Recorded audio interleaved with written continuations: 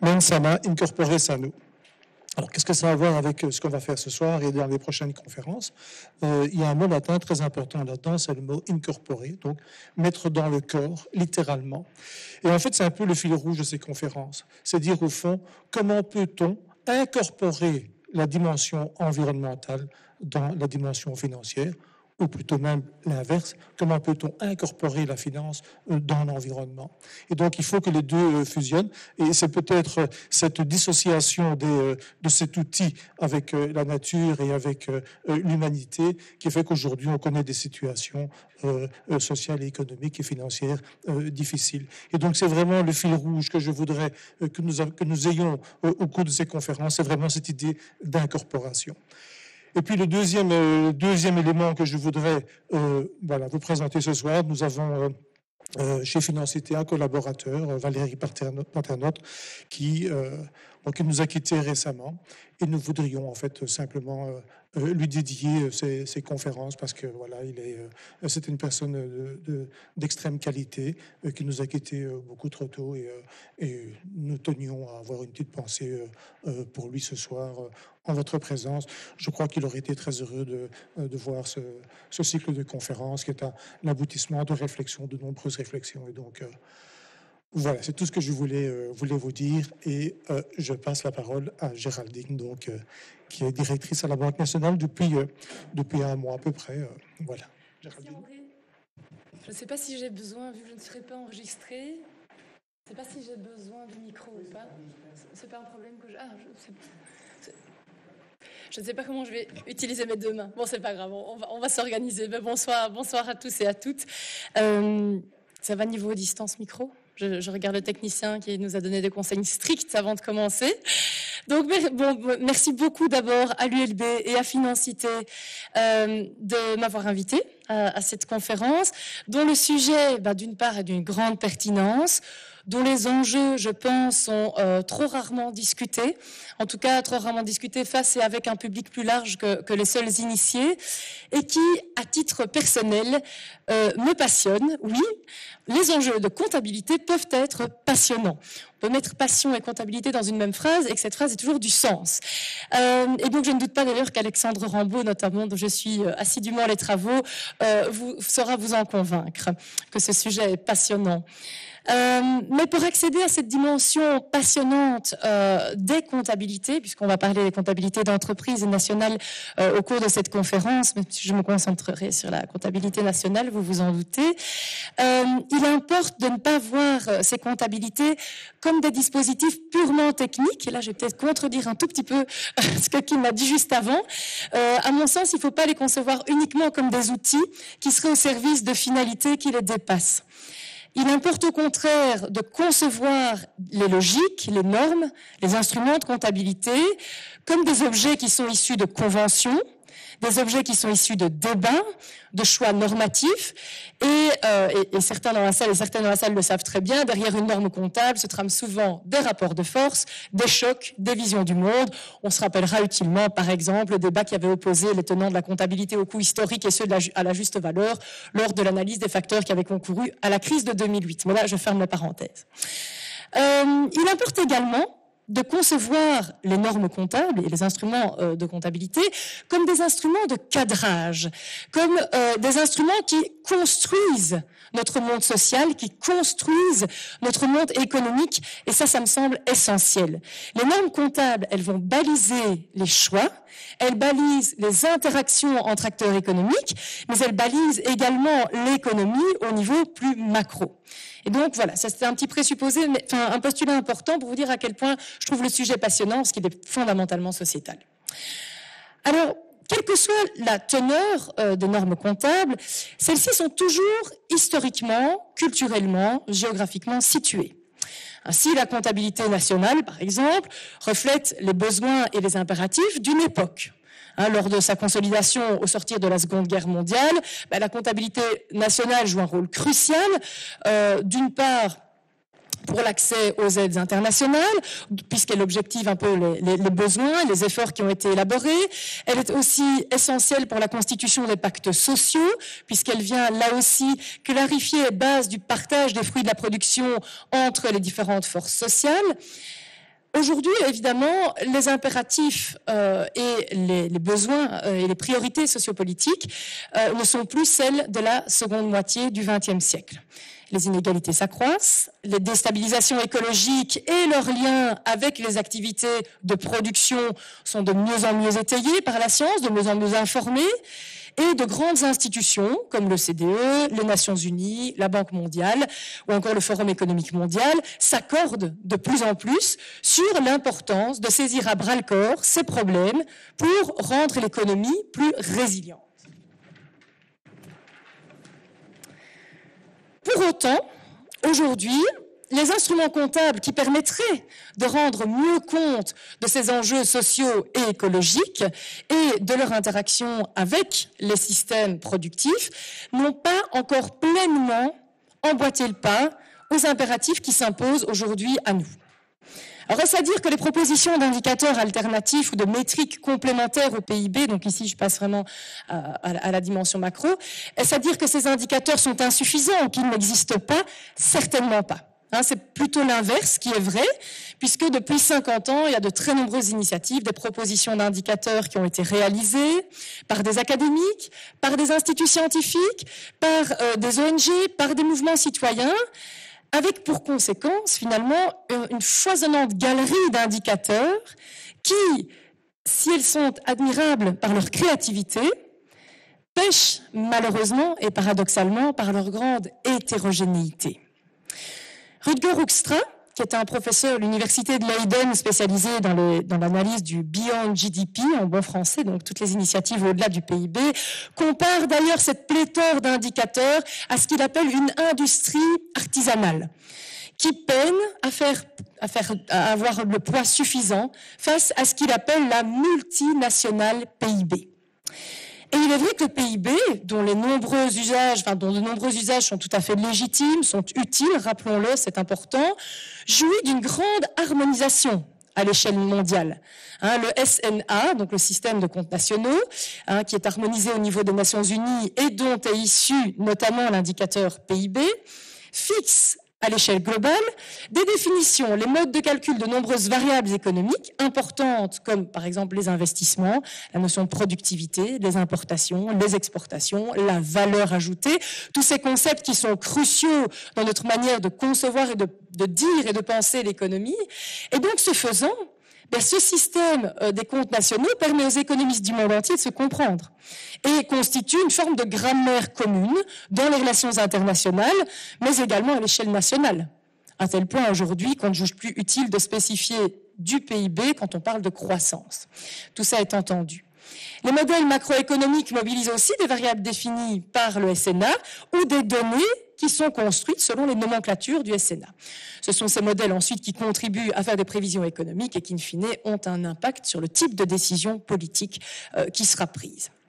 À l'inverse, aujourd'hui, les terminologies et les propositions de quantification de bien-être, de soutenabilité, des inégalités sont très nombreuses et encore hétérogènes, rendant cette création d'une grammaire commune très difficile. On comprendra donc, s'il s'agit de mieux prendre en compte les enjeux écologiques et environnementaux, la question de l'harmonisation des alternatives, mais avec cet équilibre subtil de veiller au respect des spécificités de chaque territoire ou de chaque situation, parce qu'on est face à des problèmes complexes, bien sûr. Mais cette question de l'harmonisation, en termes d'institutionnalisation, constitue à mes yeux un impératif fondamental. Alors fort heureusement, cet enjeu d'harmonisation semble compris et pris au sérieux. Hein. Récemment, les Nations Unies avaient proposé un cadre de référence qui définit trois grandes finalités essentielles au développement durable et qui recoupe d'une manière ou d'une autre, parfois de manière plus ou moins cohérente, hein, mais il faut quand même le souligner, euh, les propositions de nombreux acteurs dans les réflexions sur les nouveaux indicateurs de richesse. Première dimension, le bien-être, le bien-être aujourd'hui. Deuxième dimension, le respect de la vie et de la planète. Troisième dimension, la, diminution des inégalités et une plus grande solidarité. Alors en matière de comptabilité, puisque c'est pour ceci qu'on m'a donné la parole, il importe donc de faire évoluer les cadres statistiques, les indicateurs, et d'améliorer la disponibilité des données pertinentes. Et à cet égard, le SNA, donc ce système de comptabilité nationale, est une arène essentielle où de telles évolutions peuvent voir le jour. Et on peut dès lors se réjouir de voir que les questions de soutenabilité et de bien-être sont au cœur, ou en tout cas sont présentes dans la révision du système de comptabilité nationale, euh, intitulé Toward 2025.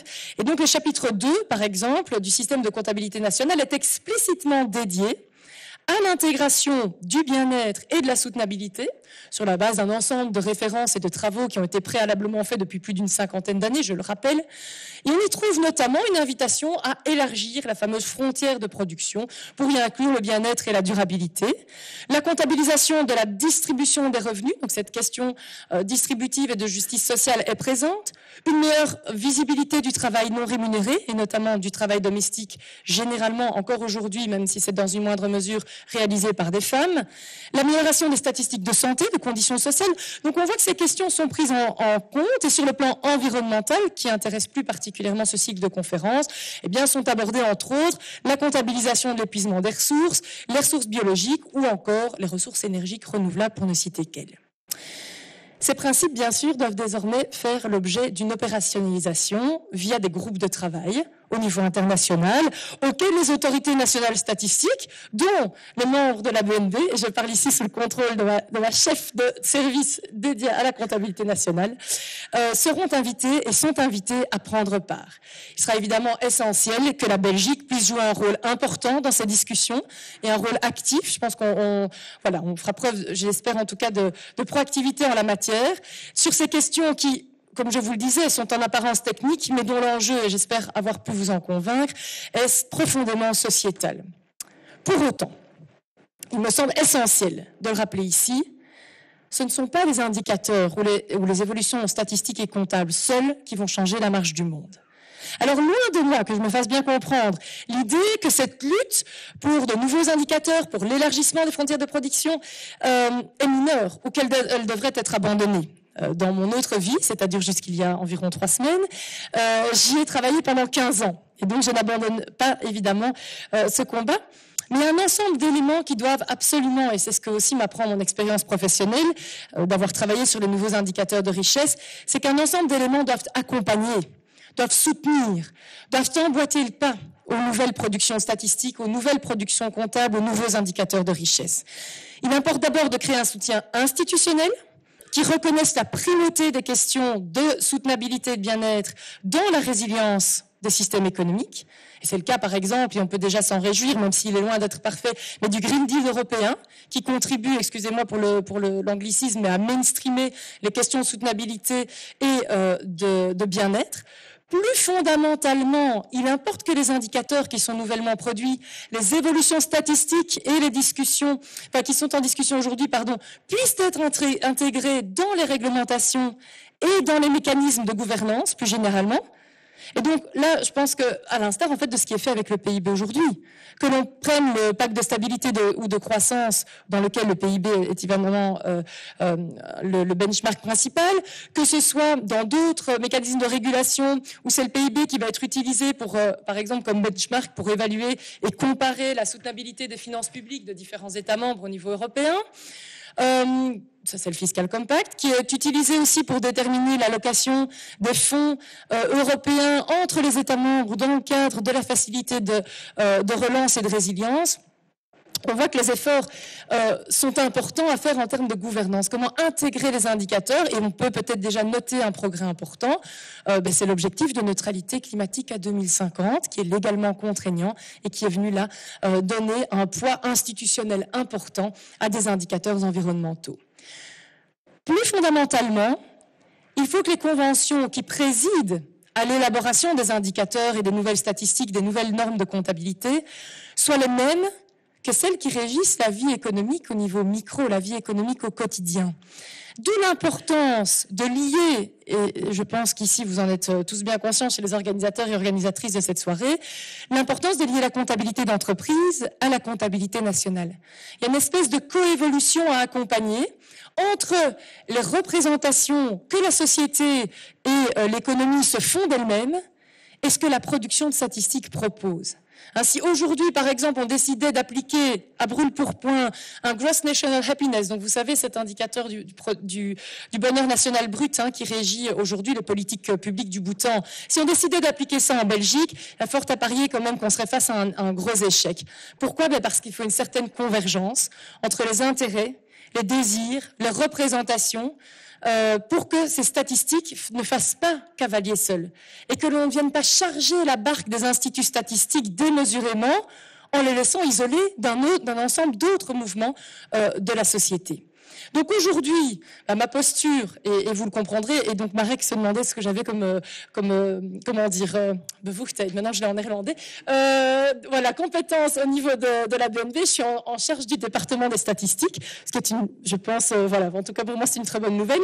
et donc il est, il est sûr que dans ma, dans ma posture, je vais soutenir autant que je peux le faire les démarches qui sont entreprises tant au niveau national qu'international pour faire évoluer le cadre statistique. Mais n'oublions pas, et c'est là-dessus que je conclurai, que la portée du travail des nombreux groupes et institutions producteurs et productrices de statistiques dépend fondamentalement de ceux qui s'en emparent. Et donc le genre d'événement qui est euh, utilisé aujourd'hui est à mon avis de nature à catalyser la généralisation de l'adoption euh, de ces nouveaux référentiels et de cette nouvelle norme. Et donc euh, je m'en réjouis. Merci beaucoup.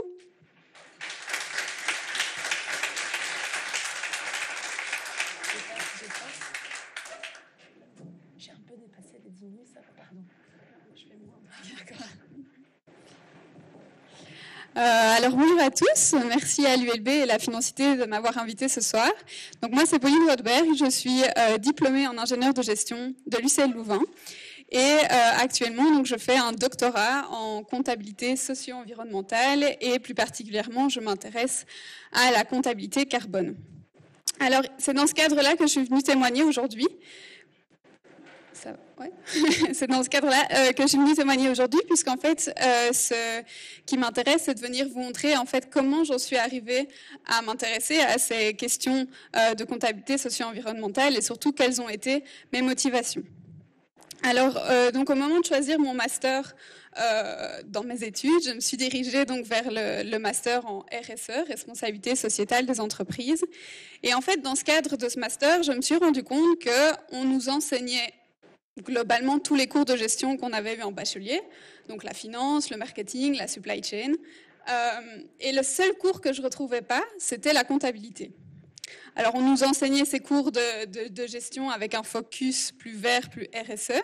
Et je me suis dit, c'est dingue, on nous enseigne un cours de finance, et on nous a appris en bachelier que la finance était basée quand même sur euh, la construction des états financiers euh, par les lois comptables. Et puis on ne parle plus du tout de comptabilité et on nous parle juste de finances vertes. Et donc je me suis dit, OK, euh, est-ce qu'il y a quelque chose à creuser par là euh, et, donc, vu que j'étais en même temps en train de devoir décider d'un sujet de mémoire, j'ai un petit peu creusé et je me suis rendu compte que la comptabilité n'était en fait absolument pas neutre et que la manière dont on nous l'enseignait, ça avait aussi créé des externalités sur l'environnement et sur la société. Par exemple, un employé est considéré comme une charge d'un point de vue comptable, pour l'entreprise, alors qu'on sait tous qu'on apporte plus, on apporte plus que, que juste un salaire, euh, qu'on coûte plus qu'un qu'on on est considéré pardon comme on coûte un salaire à l'entreprise alors qu'en fait on apporte beaucoup plus. Et donc j'ai creusé et je me suis demandé s'il y avait une solution pour lutter contre ces externalités et je suis tombée en fait sur la comptabilité CARE, donc Comprehensive Accounting in Respect of Ecology, dont Alexandre vous parlera certainement mieux que moi. Mais donc pour faire court, c'est une comptabilité qui prend, euh, qui remet à égalité en fait euh, les euh, capitaux naturels et, et, humains que les entreprises utilisent pour faire leurs activités. Et ce modèle inclut en fait ces capitaux dans le passif des bilans comptables afin de les considérer comme des dettes à honorer. Alors quand je suis arrivée avec cette idée-là, quand j'ai montré ce, modèle comptable-là à l'université, d'abord à, mes, amis étudiants, euh, on m'a considéré comme un ovni. on m'a dit mais qu'est-ce que tu vas faire dans les, questions comptables? C'est absolument pas euh, ce qui est intéressant. Euh, tu trouveras jamais de promoteur qui voudra te suivre. Eh ben, pas de chance, j'ai trouvé un promoteur qui m'a suivi. Euh, et donc j'ai défendu ce mémoire. Et pour la petite anecdote, ma maman est comptable et quand je lui ai soumis l'idée, elle m'a dit "Mais qu'est-ce que tu fais? Qu'est-ce que tu vas étudier? C'est pas du tout intéressant." Et donc, j'ai combattu, j'ai défendu ce mémoire. Et en fait, à la suite de ce mémoire, j'ai gagné un prix euh, par la Fondation pour les générations futures, donc un prix en finance durable. Et euh, en plus de ça, on m'a proposé un doctorat. Alors ma maman s'est tue. Elle m'a dit, je vais, je vais peut-être, je vais peut-être quand même lire ton mémoire. donc elle a lu mon mémoire. Depuis, elle a changé d'avis. Euh, euh, voilà. Et donc maintenant, euh, j'ai pu poursuivre donc mes activités. je m'intéresse donc, comme j'ai dit, un peu plus à la comptabilité carbone. Et le message que je voulais surtout faire passer ce soir, c'est que depuis, les choses ont quand même un peu changé, puisque à l'UCL en master, on a un cours de Green Transition Management qui notamment parle de ces questions de reporting et un peu plus de ces questions comptables. Et j'ai eu l'honneur de donner une, une heure de cours euh, sur la comptabilité guerre en première année en comptabilité générale pour ouvrir un petit peu les perspectives. Et donc voilà, mon message de ce soir, c'était si ça vous intéresse vraiment, allez-y, parce qu'il n'y a personne qui s'intéresse à ces questions. Euh, et pourtant, c'est super, super euh, intéressant et c'est surtout, comme le disait Géraldine, c'est des questions sociétales qui sont derrière. Voilà.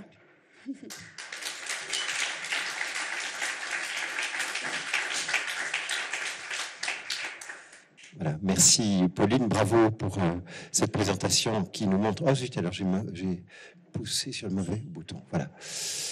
Euh, après Géraldine qui vous a parlé des comptes nationaux, après Pauline qui vous a expliqué en quoi elle s'était passionnée pour la comptabilité de la nature, enfin le, système CARE qui est un système extraordinaire, et puis Alexandre Rambaud va vous en expliquer en fait les sédiments.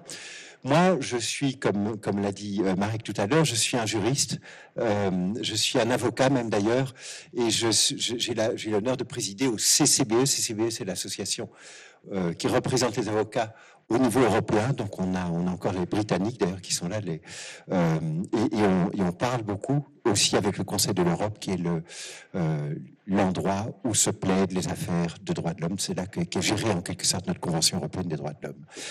Euh, et euh, vous avez vu sans doute que les droits de l'homme deviennent maintenant l'un des outils fondamentaux de la justice climatique. Hein, comme, tout le monde l'a dit maintenant, l'environnement n'est pas seulement une question chimique et, et biophysique, c'est une question sociale aussi. et Ce dont je vais vous parler maintenant, euh, c'est essentiellement euh, les avancées européennes. Je, je, caricature un petit peu en disant que c'est pas qu'une question biophysique, c'est évidemment ça aussi, mais si on la gère mal et qu'on laisse aller Elon Musk sur la planète Mars et que le reste ça ne compte pas, évidemment, socialement, c'est inacceptable. C'est ça que je voulais dire. Au niveau européen, ici, c'est des slides que j'ai faits qui ici sont disponibles, donnent les liens vers les différentes avancées au niveau pas tellement comptable, mais en tout cas du reporting financier, comme on dit ça. Ces slides sont en anglais et j'aurai énormément d'anglicisme dans, dans, dans, mon élocution. J'en suis désolé pour ceux qui ne, qui ne l'aiment pas, mais le français est une langue vivante qui mêle en fait également les autres langues à elle-même et qui se les approprie, disons-le carrément. Je vous signale, mais on n'en parlera pas, euh, qu'il y a également euh, outre la directive sur le reporting financier, qui prend l'acronyme CSRD, euh, Corporate Sustainability Reporting Directive, il y a également tout ce qu'on appelle la taxonomie européenne, qui est l'appréciation et la fixation d'une façon aussi uniforme que possible des chiffres euh, de durabilité des entreprises pour permettre aux vendeurs de produits financiers, SICAV et autres, d'incorporer dans leurs produits des performances environnementales des entreprises dans lesquelles elles investissent. la taxonomie ne, ne, ne vise pas tellement l'entreprise en tant qu'émettrice de produits financiers, mais, vise les activités des entreprises. Donc on, on essaye là de passer à travers toute l'entreprise et de faire dire par l'entreprise à quel point quel pourcentage, euh, quel chiffre, quelle progression est là dans ces différents trajets euh, euh, environnementaux. Il y a eu tout récemment, c'est le 31 septembre, c'est le 31 juillet plutôt, et c'est soumis pour le moment à la censure ou plutôt à, la possibilité pour le, le, Conseil des ministres européens et le Parlement européen d'exiger des adaptations à ce qu'on appelle les standards européens en matière de reporting de durabilité. Euh, ces standards sont prêts. Euh, et ils ont pour objectif d'uniformiser en fait la manière dont les entreprises au départ, c'était uniquement les entreprises cotées, mais maintenant, c'est 50 000 entreprises en Europe, dans, l'Union européenne, qui doivent faire des rapports sur leur durabilité. Et donc, aujourd'hui, ce n'est pas seulement parce qu'une entreprise est cotée en bourse qu'elle devra faire des comptes, publier des comptes sur euh, ces performances environnementales, mais ce sont les grandes entreprises de façon générale. Et on verra tout à l'heure, ce n'est pas seulement les grandes entreprises, mais c'est également euh, européenne, c'est également les entreprises extra-européennes qui ont un chiffre d'affaires significatif en Europe. Donc l'Europe devient euh, impérialiste sous cet aspect-là, pourrait-on dire, si on veut caricaturer les choses. Et il y a à côté de ce qu'on fait en Europe, il y a ce qu'on fait dans le monde. Hein. Ce qu'on fait dans le monde, c'est euh, les IFRS, hein, qui, euh, qui, qui, qui, sont une norme comptable qui s'applique notamment euh, aux entreprises cotées. Eh bien, les IFRS ont eux-mêmes mis en place ce qu'ils appellent les IFRS S, c'est-à-dire des, des, normes comptables pour rapporter sur la sustainability, sur la durabilité. On va, dans un instant, expliquer euh, ce qu'il en est, la différence qu'il y a entre le trajet européen et le trajet des IFRS, qui est plutôt dans une lignée anglo-saxonne, je dirais. On a parlé, Géraldine a évoqué euh, le Green Deal, ou c'était euh, Marek, je ne sais plus. Euh, le Green Deal est effectivement une une des pièces, mais elles sont très nombreuses, et elles ne datent pas que de 2018-2019. Ça fait très longtemps que l'Europe se préoccupe de la qualité de l'air, de la qualité de l'eau, par exemple, mais c'est seulement maintenant qu'on a vraiment décliné, depuis en réalité 2018, d'une part, ce qu'on appelle la finance durable. Il y aura euh, euh, l'une des prochaines soirées qui est consacrée à la finance durable. Euh, et il y a toute une démarche pour faire en sorte que l'Europe soit le premier continent euh, neutre en carbone en 2050 et, et l'ensemble des, instruments qui sont ici devraient y contribuer, ce ne sont pas les seuls. Mais je les ai mis l'un dans l'autre, je dirais, parce qu'ils sont essentiellement euh, destinés à, encourager les entreprises. Le Green Deal, euh, c'est au-delà des entreprises, mais c'est aussi toute une série de recommandations, toute une série de possibilités d'accéder euh, à des subsides notamment pour assurer euh, que son développement économique soit euh, conforme euh, aux objectifs environnementaux européens. Je signale ici, sous l'acronyme CRR, la réglementation de contrôle des banques. Donc, les banques doivent répondre à un certain nombre de ratios prudentiels, comme on les appelle. Eh bien, on incorpore maintenant des ratios de durabilité. Et la Banque Centrale Européenne a fait, il y a quelque temps, un stress test, comme on l'appelle, euh, pompeusement, euh, sur des questions d'accidents climatiques. Hein, euh, et à vérifier si nos banques réagissaient bien à des, des, scénarios euh, difficiles. CRR, c'est pour les banques, Solvency, c'est pour les compagnies d'assurance. Ceci est, un, est, une pièce fondamentale de, l'ensemble de ce tableau. C'est un projet de directive, je l'ai mis entre crochets, Corporate Sustainability Due Diligence. Et là, c'est là qu'il y a vraiment des, des, choses qui vont impacter les entreprises parce qu'elles devront faire attention, elles devront veiller à connaître l'impact qu'elles ont sur leur environnement social et leur environnement naturel, non seulement par leurs propres activités, mais également pour l'activité faite par le, à travers leur chaîne de valeur. Le mot chaîne de valeur vise non seulement les, les personnes qui contribuent à la production du produit qui sera vendu par l'entreprise, mais également les consommateurs des produits. Je vous rappelle que Shell a été condamné en 2021 à la haie pour faire en sorte que d'ici 2030, l'ensemble de son empreinte carbone soit réduite de 45%. Et l'ensemble de son empreinte carbone, c'est entre quelques 5 ou 6% euh, ou 10% de son, sa production propre, combien ça coûte d'amener euh, des gros containers de, de pétrole jusqu'à Rotterdam, etc. Mais 85 à 90% de son empreinte carbone, ce sont ses clients qui, au lieu de mettre ce pétrole dans une cuve et de le regarder comme c'est beau vert, jaune, rouge ou je ne sais quoi, il le consomme et ça produit des masses considérables de CO2. Voilà la chaîne de valeur visée par le CSDD.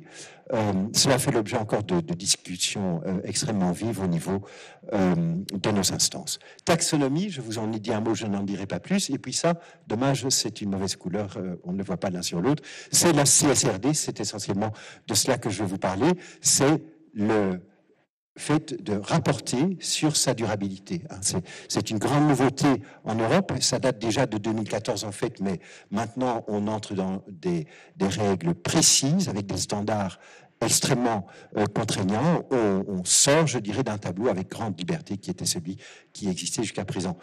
SFDR, c'est Sustainable Finance Disclosure euh, Regulation, c'est les intermédiaires financiers, ceux qui euh, produisent des SICAV, etc. Ils doivent également donner un certain nombre d'informations sur la durabilité, non seulement de leur propre activité, mais la durabilité des produits euh, qu'ils vendent. Et puis, dernière chose, c'est un projet de directive européenne sur les, ce qu'on appelle en anglais les green claims, c'est-à-dire le fait de dire mon produit est plus vert que l'autre, mon produit est environnemental, mon produit est bio, etc.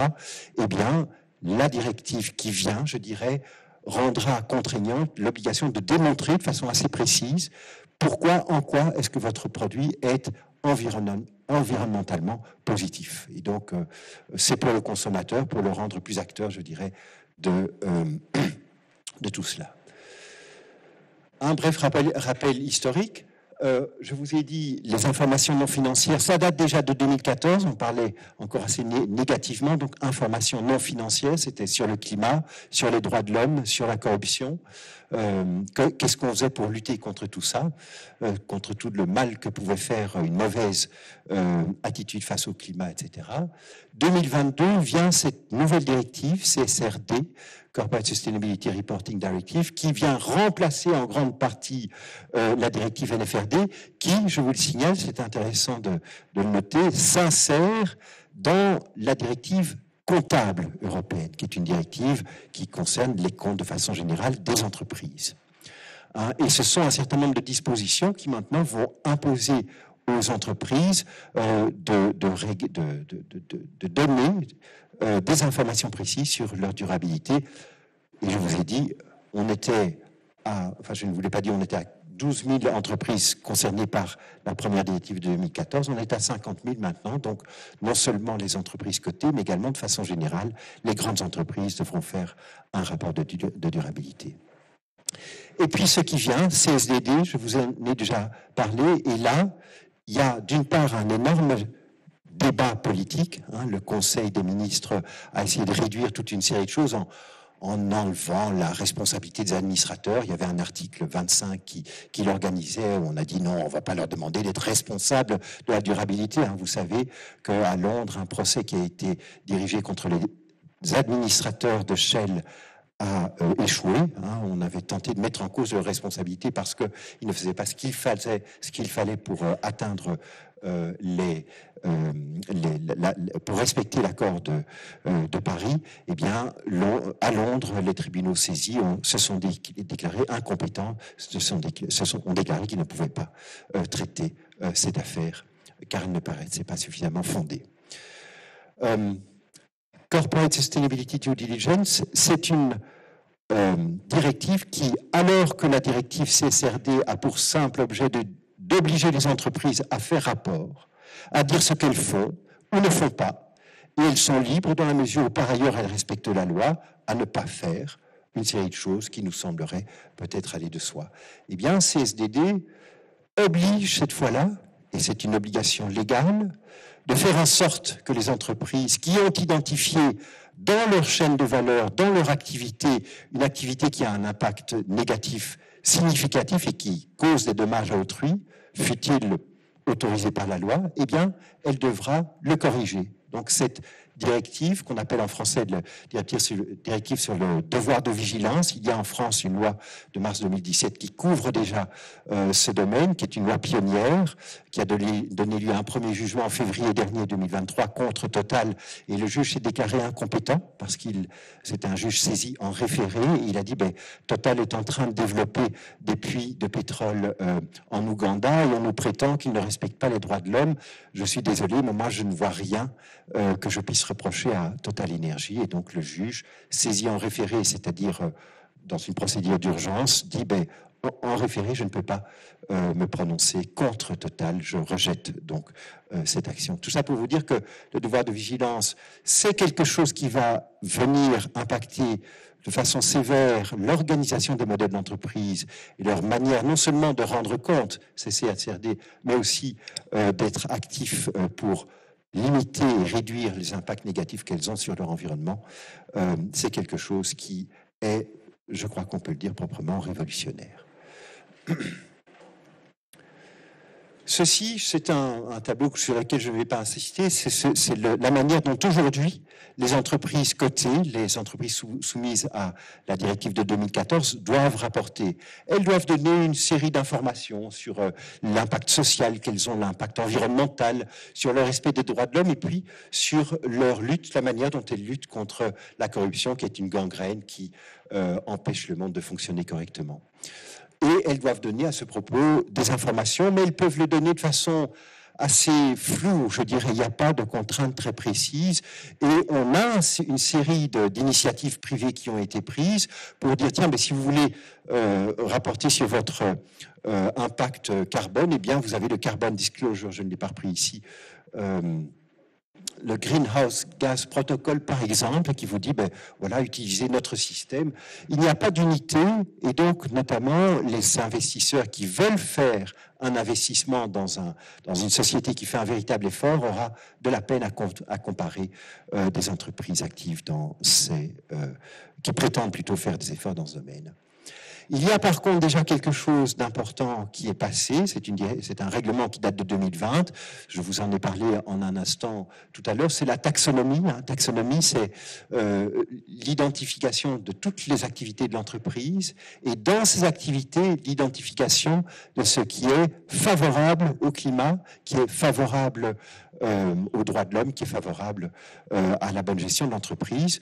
Euh, et tout cela peut être identifié. On va identifier cela dans des chiffres assez précis, fondés sur le turnover, comme on dit en anglais, le, le chiffre d'affaires, sur les investissements de l'entreprise et sur ses dépenses, en quoi chacun de ces paramètres est, correspond à, au développement d'une activité euh, qui est conforme euh, à, un bon environnement où, en fait, l'Europe a adopté six principes, euh, six règles plutôt en matière environnement, lutter contre le changement climatique, s'adapter au changement climatique, et je, passerai sur les autres dans un instant. Et voilà pour le moment, la taxonomie européenne ne vise que ceci. Donc, on a des schémas et vous pouvez trouver dans les principales sociétés cotées belges, par exemple, ou en France, un rapport de taxonomie sur en quoi la société est conforme, ou plutôt à une activité qui va dans la direction d'une lutte contre, d'une mitigation, comme on dit en anglais, d'une réduction euh, du changement climatique. En quoi est-ce que l'entreprise a une activité qui est adaptée, qui s'adapte plutôt à euh, ce changement climatique qui vient, et quatre autres paramètres environnementaux doivent être réglés. Euh, la, question de l'eau, la question de l'économie circulaire, la question des pollutions de façon générale et la question de la protection des écosystèmes, de la biodiversité. Et ce sont des, règles très techniques, très complexes euh, qui sont mises en place au niveau européen. Je passe ceci parce que c'est de la technique. Quand vous avez une activité qui est favorable à l'environnement, par exemple parce que euh, vous, vous, installez des éoliennes, mettons, eh bien c'est chouette, ça peut être une substantial contribution. Mais faites attention, il faut en même temps que vous ne mettiez pas du béton partout, hein, parce que ça, c'est pas une contribution, c'est plutôt une diminution euh, de la, euh, ou plutôt une augmentation des problèmes euh, euh, environnementaux. Généralement, quand on installe un quand on installe une éolienne, on a besoin de beaucoup de béton, c'est-à-dire beaucoup de CO2 euh, est produit, mais il n'empêche, le résultat final, le résultat global est plutôt euh, positif et les parcs éoliens sont généralement considérés comme euh, des activités éligibles au sens de la taxonomie. Et puis, pour que ce soit, vraiment éligible, il faut respecter une série de, critères minimums au niveau des droits de l'homme et des droits sociaux, et il faut avoir et au niveau de la gouvernance de l'entreprise. Et il faut répondre alors, pour pouvoir donner des chiffres, aux critères techniques élaborés par ces réglementations. Je vais aller très rapidement. Je vous ai dit déjà ceci. Donc, les grandes entreprises européennes, les entreprises cotées et les entreprises non européennes qui ont un chiffre d'affaires important en Europe devront elles aussi émettre, publier un rapport de durabilité. Voilà les différents euh, standards qui ont été émis par la Commission européenne. Ces deux-là doivent être euh, mis en œuvre quoi qu'il en soit. Ici, ce sont des définitions. Ici, c'est le cadre général, c'est l'espèce de, chapitre dans lequel on va décrire la manière dont la société est organisée. Euh, par contre, tous les autres standards ne doivent faire l'objet euh, d'une description dans le rapport de l'entreprise que dans la mesure où ils sont matériels. Matériel, ça veut dire quoi? C'est le terme anglais que j'utilise. Sa traduction en français, c'est ils doivent être, ils doivent avoir une importance significative. C'est le changement climatique, la pollution, les questions marines et d'eau douce, la question de la biodiversité, la question de l'économie circulaire pour les standards européens, les standards, excusez-moi, environnementaux, c'est au niveau social la question euh, du, des, travailleurs de l'entreprise elle-même et de ses filiales, et la question des travailleurs dans la chaîne de valeur. Hein, par exemple, dans le textile, on fait travailler essentiellement les gens au Vietnam, en Turquie ou au Bangladesh. Eh bien, cette chaîne de valeur, je dois m'en soucier. Est-ce que les conditions de travail sont acceptables? Les affectés, les communautés affectées, ben, il ne faut pas aller euh, en Amazon pour avoir des communautés affectées. Quand vous installez une usine euh, euh, où que ce soit, vous avez une communauté affectée qui sont les riverains de cette usine. Et donc, comment est-ce que vous les traitez et finalement, ceux qui sont devant vous, ceux qui vous vendez, vendez votre produit, les consommateurs, comment est-ce que vous euh, les traitez? Et donc tout ça doit faire l'objet, devra plutôt faire l'objet, parce que ce n'est pas encore en vigueur aujourd'hui, devra faire l'objet prochainement d'un rapport précis par l'entreprise, dans la mesure où, elle a identifié ces différents euh, sujets comme étant matériels, comme étant d'importance significative pour elle.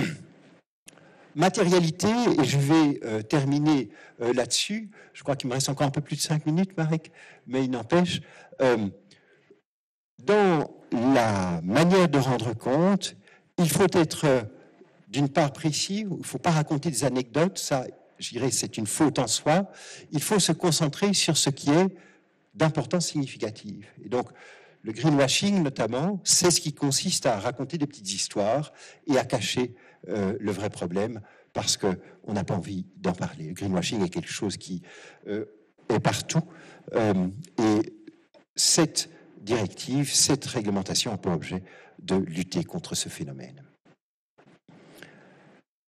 Alors, j'arrive au, cœur du sujet, je dirais, l'essentiel sera dit par Alexandre Rambaud sur le, le, système du CARE, mais ici, on entre dans ce qui permet de rattacher le système de comptabilité environnementale au système développé par l'Europe. L'Europe, elle fait quoi? Eh bien, je vous, donne ici un tableau qui a été fait en 2019 par la Commission européenne qui a dit, ben, dans le fond, euh, quand vous rapportez sur les informations non financières, vous devez veiller non seulement à dire en quoi les éléments de durabilité, c'est-à-dire changement climatique, euh, euh, les pollutions que je génère moi-même, malgré le fait que j'ai un permis d'environnement qui me dit je peux rejeter les eaux comme je le fais dans, dans, le fleuve. Comme ça, c'est quand même pas très euh, parfait ce que je fais. Et donc, ça peut avoir un impact financier sur mes résultats, sur ma capacité de continuer à exploiter mon entreprise. Et ça, disent les anglo-saxons, le, les systèmes IFRS, c'est la seule chose qui intéresse le, rapport que vous devez rendre public. C'est-à-dire en quoi vous devez rendre public, en quoi les questions de durabilité pourraient avoir, à court, à moyen ou à long terme, un impact positif ou négatif sur votre entreprise. Positif si vous êtes en train de faire, de développer des recherches sur des produits miracles qui vont permettre à tout le monde de se déplacer sans, un, seul gramme de CO2 euh, lancé dans l'air, euh, etc. Donc tout ça, ce sont des choses positives où on profite euh, de, de, la nécessité d'entrer dans une société durable, mais en droit, je dirais, ça concerne la question de l'intérêt social, euh, ça, concerne la question de l'impact financier sur l'entreprise. Eh bien, l'Europe dit, nous, c'est pas ça le rapport de durabilité qu'on vous demande, c'est pas ça le rapport d'information non, financière que vous faites. Cette information non financière, vous devez la donner également concernant les impacts que votre activité a sur le monde extérieur, indépendamment de la conséquence financière que cela a sur vous. Alors, euh, il faut vraiment se gratter la tête longtemps, excusez-moi de, le dire, mais euh, c'est comme ça, pour comprendre, mais comment je vais faire, moi, pour maîtriser ou pour identifier, rien qu'identifier, le fait que je, je cause un dommage à un inconnu, des, gens qui habitent autour de mon usine. Par exemple, j'ai une usine qui produit de la pâte à papier, par exemple. Eh bien, euh, ça fait, ça fait des odeurs, ça fait de la pollution probablement. Il y a, peut-être des problèmes dans le cours d'eau qui passent à côté de chez moi, mais je, je suis complètement en règle avec mes permis. J'ai les papiers qu'il faut, mais il y a plein de gens qui sont gênés par ça. Donc, la manière d'entrer dans cette, ce qu'on va appeler la seconde matérialité, en, de nouveau en reprenant les termes anglais de double, matériel, double materiality, c'est de se dire je vais enquêter, je vais interroger mes parties prenantes, ce qu'on appelle les stakeholders. Et ça, c'est le gros travail, je dirais, dans la seconde matérialité. Il faut tout d'un coup se mettre dans la peau des autres qui vivent avec moi dans leur environnement. Et peut-être que je suis tellement important, comme on a dit tout à l'heure, aujourd'hui on est dans des entreprises qui sont d'une telle taille qu'elles ont un impact parfois sur l'ensemble de la planète. Il suffit de parler de Coca-Cola, par exemple, pour dire ce truc qui vend enfin, des choses pour, générer des maladies chroniques dans tous les sens. Bah, elle est sur l'ensemble de la planète. Quel est euh, son impact euh, négatif éventuellement qu'elle doit identifier? Euh, dans un rapport européen, en tout cas qui parle donc de cette fameuse double matérialité. Et là, j'ai repris de nouveau une terminologie anglaise parce que c'est là aussi que le concept est né en droit de la responsabilité en Grande-Bretagne notamment, mais dans le système anglo-saxon. On dit ben, euh, toute personne a un duty of care, c'est-à-dire elle a l'obligation de se soucier des conséquences de ses actes. On n'a pas un système de responsabilité fondamentalement différent chez nous, mais on a le Code Napoléon qui nous dit simplement, lorsque vous euh, causez un dommage à autrui, par votre faute, vous devez le réparer. Donc on a un système un peu plus élémentaire parce que vous pouvez très bien rouler à 140 à l'heure sur, euh, sur l'autoroute. S'il n'y a personne sur cette autoroute, vous faites une faute, mais vous faites de dommages à personne. Le duty of care, signifie plus, un peu plus, je dirais, que vous devez avoir une, attitude à tout moment qui soit une attitude correcte. Vous devez vous soucier, enfin correcte, j'exagère de nouveau, le système anglo-saxon n'est pas parfait non, lui non plus, mais enfin ils ont ce concept qui va un peu plus en avant, qui intègre un petit peu plus cette idée de prévention. Hein, et fondamentalement, euh, CSDD, donc la directive sur l'obligation de vigilance, est quelque chose qui va vraiment intégrer l'idée que l'entreprise, lorsqu'elle va prendre une décision, évidemment, elle doit veiller à ce que cette décision génère, dans toute la mesure du, possible, des profits pour l'entreprise, et c'est la première motivation qu'elle va avoir généralement, mais elle doit également se soucier et intégrer dans son processus, dans son processus décisionnel les conséquences de cette décision sur l'environnement, sur les questions sociales euh, qui, que cela peut également concerner. Voilà, ça c'est, je dirais, euh, un point important. Je suppose qu'Alexandre va reprendre ce, concept parce qu'il est essentiel euh, pour une comptabilité, pour dire pourquoi est-ce qu'on fait une comptabilité financière. Et j'attire votre attention sur cet article 25 de la du projet, de la proposition de directive telle qu'il a été rédigé par euh, la Commission européenne. Cet article a été supprimé par le Conseil des ministres. Le Parlement, dans son rapport qu'il a fait le 1er juin 2023, l'a restauré, ou en tout cas estime qu'il doit rester. Donc on va voir ce que le débat entre la Commission, le Conseil et le Parlement, ce qu'il va faire. Et que dit cet article? Eh bien, il dit simplement que lorsque le Conseil d'administration va prendre une décision, il va par hypothèse prendre ses décisions dans le meilleur intérêt de la société et de ses actionnaires, c'est-à-dire il faut que ce soit une décision qui génère un profit euh, pour l'entreprise à court terme, à moyen terme ou à long terme, de préférence d'ailleurs à long terme eh bien, quand ils prennent une décision, ils doivent prendre en considération les conséquences de cette décision sur l'environnement et sur les droits humains. je vous, je vous référerai au droit français parce que la loi Pacte, hein, qui était la loi euh, que, Macron soutenait à l'issue de, dans, son premier septennat, eh bien, il a fait modifier, enfin, cette loi modifie notamment l'article 1833 du Code civil. Je vous rappelle que ce Code civil date de Napoléon en 1804 et que pas mal de ses dispositions restent celles qui gouvernent nos enfin, notre, notre responsabilité, notamment en Belgique aujourd'hui. Et ces termes se retrouvent également euh, dans le droit anglais, article 172 du, du UK Companies Act, tel qu'il a été modifié en 2006. Comment, quel terme on utilise quand on parle de double matérialité? Eh bien, on dit, je reprends simplement ici le texte de la directive, ok, cinq minutes. Euh, d'une part, l'entreprise, lorsqu'elle fait rapport, elle doit rapporter sur l'impact que son activité a dans, les domaines de, durabilité identifiés par la directive.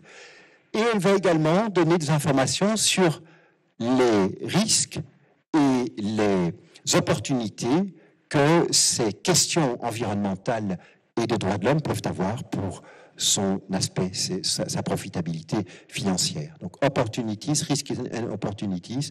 Et pour savoir comment elle peut avoir un impact sur le tiers, eh bien, elle euh, va expliquer, notamment dans son rapport, en quoi sa stratégie et son modèle d'entreprise est impacté par les avis qu'elles ont récoltés auprès de leurs parties prenantes où elles les ont interrogées pour lui dire est-ce que, est que vous avez un problème avec notre présence, la présence de notre usine euh, là dans notre quartier? On interroge également les clients, c'est souvent très instructif pour une entreprise de le faire.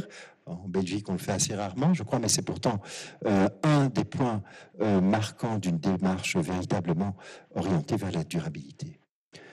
Et voilà un petit peu un tableau que l'EFRAG, l'EFRAG c'est euh, une, association privée qui, qui assiste et qui donne des conseils à la Commission européenne et qui est chargée par la Commission européenne de préparer, notamment qui a été chargée de préparer ces standards européens. Ils ont été massivement modifié par la Commission européenne qui, en, juillet, a sorti des documents qui étaient euh, beaucoup moins ambitieux que ceux préparés par les FRAC. Mais cela étant, les FRAC a fait tout un document où elle explique cette double matérialité. Elle explique, ben voilà, ça c'est ce que vous donnez aujourd'hui comme information quand vous n'avez rien à dire sur la, euh, sur la durabilité. Ça, ce seraient les informations que vous donnez si vous devez intégrer dans votre rapportage euh, la question de l'impact des, euh, des, questions de durabilité sur vos données financières. Donc c'est essentiellement une, projection de l'entreprise sur ses risques et ses opportunités à plus long terme et on fait apparaître dans ce dessin, je dirais cette figure, euh, le fait que l'impact au sens propre du terme, c'est-à-dire l'identification des effets de l'entreprise sur son environnement, eh bien, est quelque chose qui dépasse encore ceux, en tout cas, qu'elle doit rapporter, c'est-à-dire ceux qui sont matériels, dépassent euh, la, la, matérialité financière. Et puis, il y a l'ensemble des conséquences. N'oublions pas, une entreprise a de toute façon un ensemble de conséquences qui sont, euh, qui sont presque pas identifiables, tellement elles sont nombreuses. La conséquence de tous nos actes, je dirais, nous-mêmes, elles sont, euh, elles sont souvent ignorées. Et eh bien voilà, il y a une série de choses dont on ne doit tout simplement pas parler, qui est au-delà de tout ça. Voilà, et je termine avec ceci. Euh, ceci, c'est un extrait de, du standard donc qui, explique les, grands concepts fondamentaux, et il explique qu'en Europe, eh ben oui, il faut faire un rapport fondé sur une approche de double importance relative, double materiality, euh, c'est-à-dire d'une part, c'est ce que je vous ai dit, impact euh, social, environnemental, et d'autre part, impact, ou plutôt euh, risque et opportunité financière. Du côté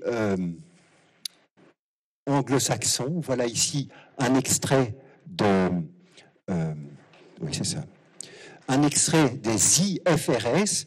Et ici, qu'est-ce qu'on doit rendre public? Eh bien, une entité rendra public les informations sur les questions de, durabilité, les risques et opportunités qui pourraient raisonnablement être risqués d'affecter euh, l'activité de la société. Et disent les IFRS, l'information qui doit être donnée n'est que l'information euh, qui est nécessaire pour le purpose of financial reports, donc pour le, les besoins euh, du reporting financier, pour permettre aux investisseurs, dit-on assez précisément, de se faire une idée sur la manière dont, la valeur financière de l'entreprise va évoluer. Je termine avec quelques petites euh, remarques philosophiques. J'ai été très impressionné et j'ai finalement lu quand même le petit ouvrage de Lévinas, Autrement qu'être, et je, suis assez impressionné de me dire que dans le fond, on va dans cette direction-là. Paul Ricoeur disait de, de Lévinas qu'il parle en hyperbole, ça, ça il va beaucoup trop loin. Ce qu'il imagine comme, comme concept de responsabilité ne correspond pas du tout à ce que Ricoeur, qui était un, un philosophe très rigoureux, disait. Il dit en fait, notre être, Lévinas dit, notre être est le résultat de notre capacité d'être responsable. Et, il dit en outre, on, on, dit en outre on est coupable, et c'est là qu'on peut parler d'hyperbole. De, de, ce qui est autour de moi, essentiellement le visage de l'autre, vient comme un accusatif. J'existe à l'accusatif. C'est assez intéressant parce que ça veut dire que tout d'un coup, enfin, avec cette approche-là, notre existence, et j'ai envie de dire l'existence de l'entreprise, s'envisage à partir de l'impact qu'elle a sur son environnement social et naturel, avant de se préoccuper de ce qu'elle peut ramener comme bénéfice à ses actionnaires. Ça me paraît en fait aller de soi, dans l'absolu, je dirais, mais pas dans un système où ce qui crante la, décision d'un administrateur dans la société, c'est va-t-il générer de la valeur pour son actionnaire. Hein. Il, y a, ce que l'AMF en France appelait dans les années 90 la fameuse valeur actionnariale. Ça m'a toujours choqué ce mot, mais enfin voilà. Euh, ici, on, vous, ne pouvez pas dire ce dont il s'agit. Je voulais évoquer deux autres, euh, philosophes, Jonas, hein, vous, que vous le connaissez, Hans Jonas, euh, qui a écrit un superbe bouquin dont je ne vous cite ici que la première phrase. Hein. Et c'est assez extraordinaire comme phrase. Il dit ben, voilà quel est, quel est notre avenir, quel est notre problème. Voilà que par notre génie, nous avons libéré complètement euh, Prométhée. Donc, ce qu'on invente nous permet d'extraire de la Terre des choses, mais qui sont euh, hallucinantes. Hein. Notre, euh, notre, vie aujourd'hui, elle, existe grâce à notre génie. Mais, dit-il, si on laisse aller ce Prométhée déchaîné, cet, extraordinaire développement risque d'être la source d'un malheur pour l'homme. Enfin, je traduis très mal ça. C'est la toute première phrase de son ouvrage. Je vous conseille de, le prendre dans la librairie, de lire cette phrase. Elle est, elle est tout à fait exceptionnelle. Et puis, Jaspers, je vous rappelle que Jaspers est un philosophe allemand qui est resté en Allemagne pendant la guerre 40. Il n'était pas pro-nazi, il n'y avait pas sa carte du parti ni rien du tout, mais on ne l'a pas inquiété pour autant. En 44, en 46 plutôt, excusez-moi, il fait une conférence sur la culpabilité allemande. Et c'est très intéressant parce que c'est un petit peu ça l'un des problèmes qui se posent, c'est-à-dire est-ce qu'on est tous coupables? Est-ce qu'on est-ce doit, est-ce qu'on doit euh, se, se, se, sentir coupable et ne plus rien faire? Ce n'est certainement pas le cas. Et, et, cet ouvrage est une espèce de manière intéressante de se dire comment on doit faire une entreprise, ou plutôt comment on doit faire une société, lorsqu'elle se trouve dans une ornière qui la mène vers un désastre. Quelle est la responsabilité de l'individu dans ce cadre-là? J'espère donne une, une, appréciation, je dirais, très intéressante sur la base de l'expérience, je dirais, lamentable euh, du peuple allemand entre, 40, euh, entre 33 et 45. Mais il n'empêche, voilà, nous sommes aussi, nous autres, des peuples peut-être lamentables, ne le soyons pas. Enfin, cette expérience nous enseigne quoi faire. Voilà. Je vous remercie.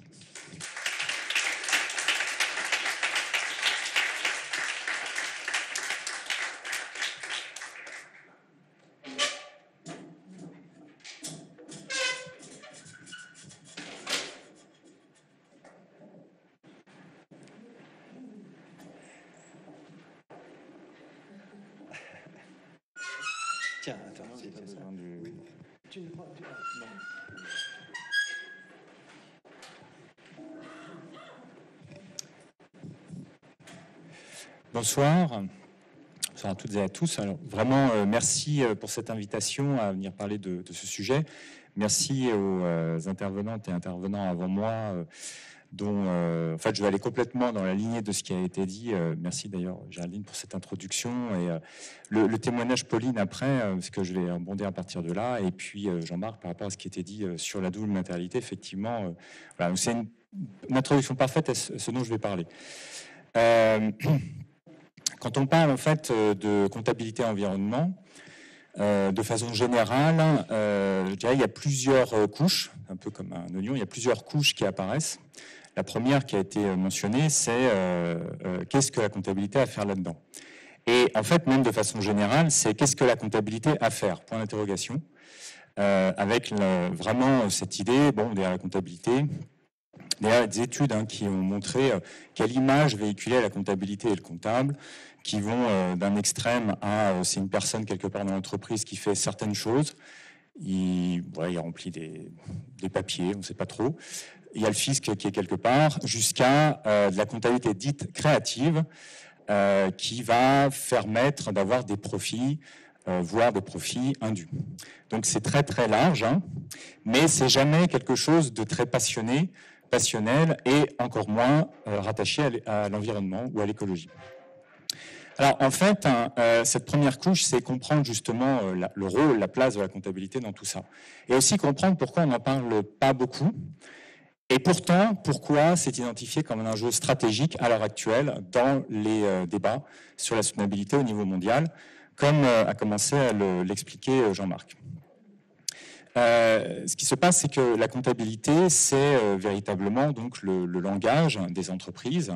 C'est quelque chose hein, que euh, la plupart des acteurs, hein, que ce soit au niveau du top management des entreprises, que ce soit dans les décideurs publics, enfin, décideurs publics concernés par l'entreprise, actent, connaissent, mais qui est rabattu en fait sur des problématiques d'expertise pure et dure et ce qui fait qu'un euh, certain nombre de débats autour de la comptabilité sont renvoyés systématiquement euh, auprès d'expertes et d'experts. Et c'est un peu le cas au niveau de l'Union européenne, par exemple, ou au niveau international, au niveau des IFRS, où on a en fait absolument pas vraiment de débat public autour d'un enjeu qui est absolument fondamental. Euh, et ce qui fait que derrière la comptabilité, ce qui est un peu terrible, c'est qu'on a à la fois donc quelque chose qui est, euh, comme je disais, le langage, mais je vais utiliser une autre métaphore pour parler de la comptabilité juste après, pour vraiment montrer son impact, son rôle dans les organisations, euh, notamment privées, mais aussi publiques. Euh, ce qui fait que ces débats-là sont complètement sortis du débat public, sont même sortis du débat médiatique. Et du coup, on a des experts et des experts qui font des choses dans leur coin, avec derrière des parlementaires qui parfois, en fait, enfin quand je dis parfois, euh, on en parlait encore avec euh, Pascal Canfin qui disait qu'il doit y avoir 0,1% des parlementaires qui comprennent quelque chose à ce qui se passe au niveau comptable. Donc, du coup, qui valident des choses ou qui ne valident pas des choses sans véritablement comprendre ce qui se passe. Donc, on est en fait dans un domaine qui est totalement euh, pris de fait par de l'expertise en dehors du débat citoyen et démocratique pour orienter de façon très forte les enjeux de l'entreprise vers ce qu'on aimerait être une économie de demain. Alors ça pose quand même un problème de fond. Parce que quelque chose comme ça, en fait, normalement, il devrait y avoir un minima, un débat citoyen pour savoir où on veut aller et comment on veut y aller. Donc là, il y a déjà euh, une première problématique. Mais alors, du coup, l'importance de la comptabilité, et c'est là où je vais utiliser euh, une métaphore que j'aime bien pour parler de la comptabilité, c'est que, en fait, c'est véritablement l'architecture des organisations architecture parce que, euh, pour euh, justement faire le parallèle, l'architecture, c'est ce qu'on voit le moins tout en le sentant le plus. C'est-à-dire qu'on voit bien que là, le bâtiment va pas s'effondrer, enfin, on espère. Euh, mais on n'est pas en train de penser en permanence, ah tiens, il y a un architecte ou une architecte qui a fait quelque chose, comment l'architecture s'est euh, tout ça. Donc on sent qu'il y a quelque chose qui fait que ça tient debout, qu'on a utilisé des matériaux qui ont, été mis euh, à des places plutôt bonnes en tout cas, avec une finalité euh, particulière qui fait qu'on a un bâtiment euh, tel qu'il est. Mais on n'imagine pas en fait hein, tout ce que ça a véhiculé et ce qu'est véritablement l'architecture du bâtiment, même si c'est là sans être là. Donc c'est cette absence-présence. Et tout ça, c'est une sorte, il y a quelque chose d'immatériel, mais qui fait que ça tient debout. En fait, pour faire tenir debout des activités dans une organisation, il faut justement ça. C'est pas pour rien qu'on parle de plan de compte. La comptabilité, c'est ce qui pose cette architecture. C'est là où on va définir en fait où on met les choses. Donc il y a un travail de qualification, de classification, d'ordonnement, qui permet de savoir précisément ce qu'on doit faire et comment le faire. Et qui fait qu'à la fin, on a des activités humaines qui peuvent tenir debout, que ça s'effondre pas littéralement.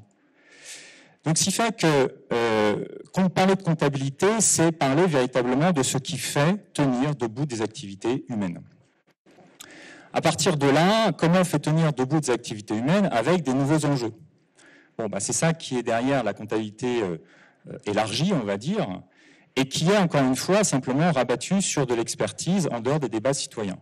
Donc ça, reviendrait à dire, aujourd'hui, il faut construire autrement, ça on commence à en avoir un peu conscience, il faut construire des villes autres, adaptées au changement climatique, adaptées euh, à la montée des eaux, etc., etc. Mais on ne va jamais poser le débat de l'architecture. Donc ça serait, on construirait sans architecture, ce qui serait complètement incroyable. Donc c'est à ce niveau-là que se situe euh, la question comptable.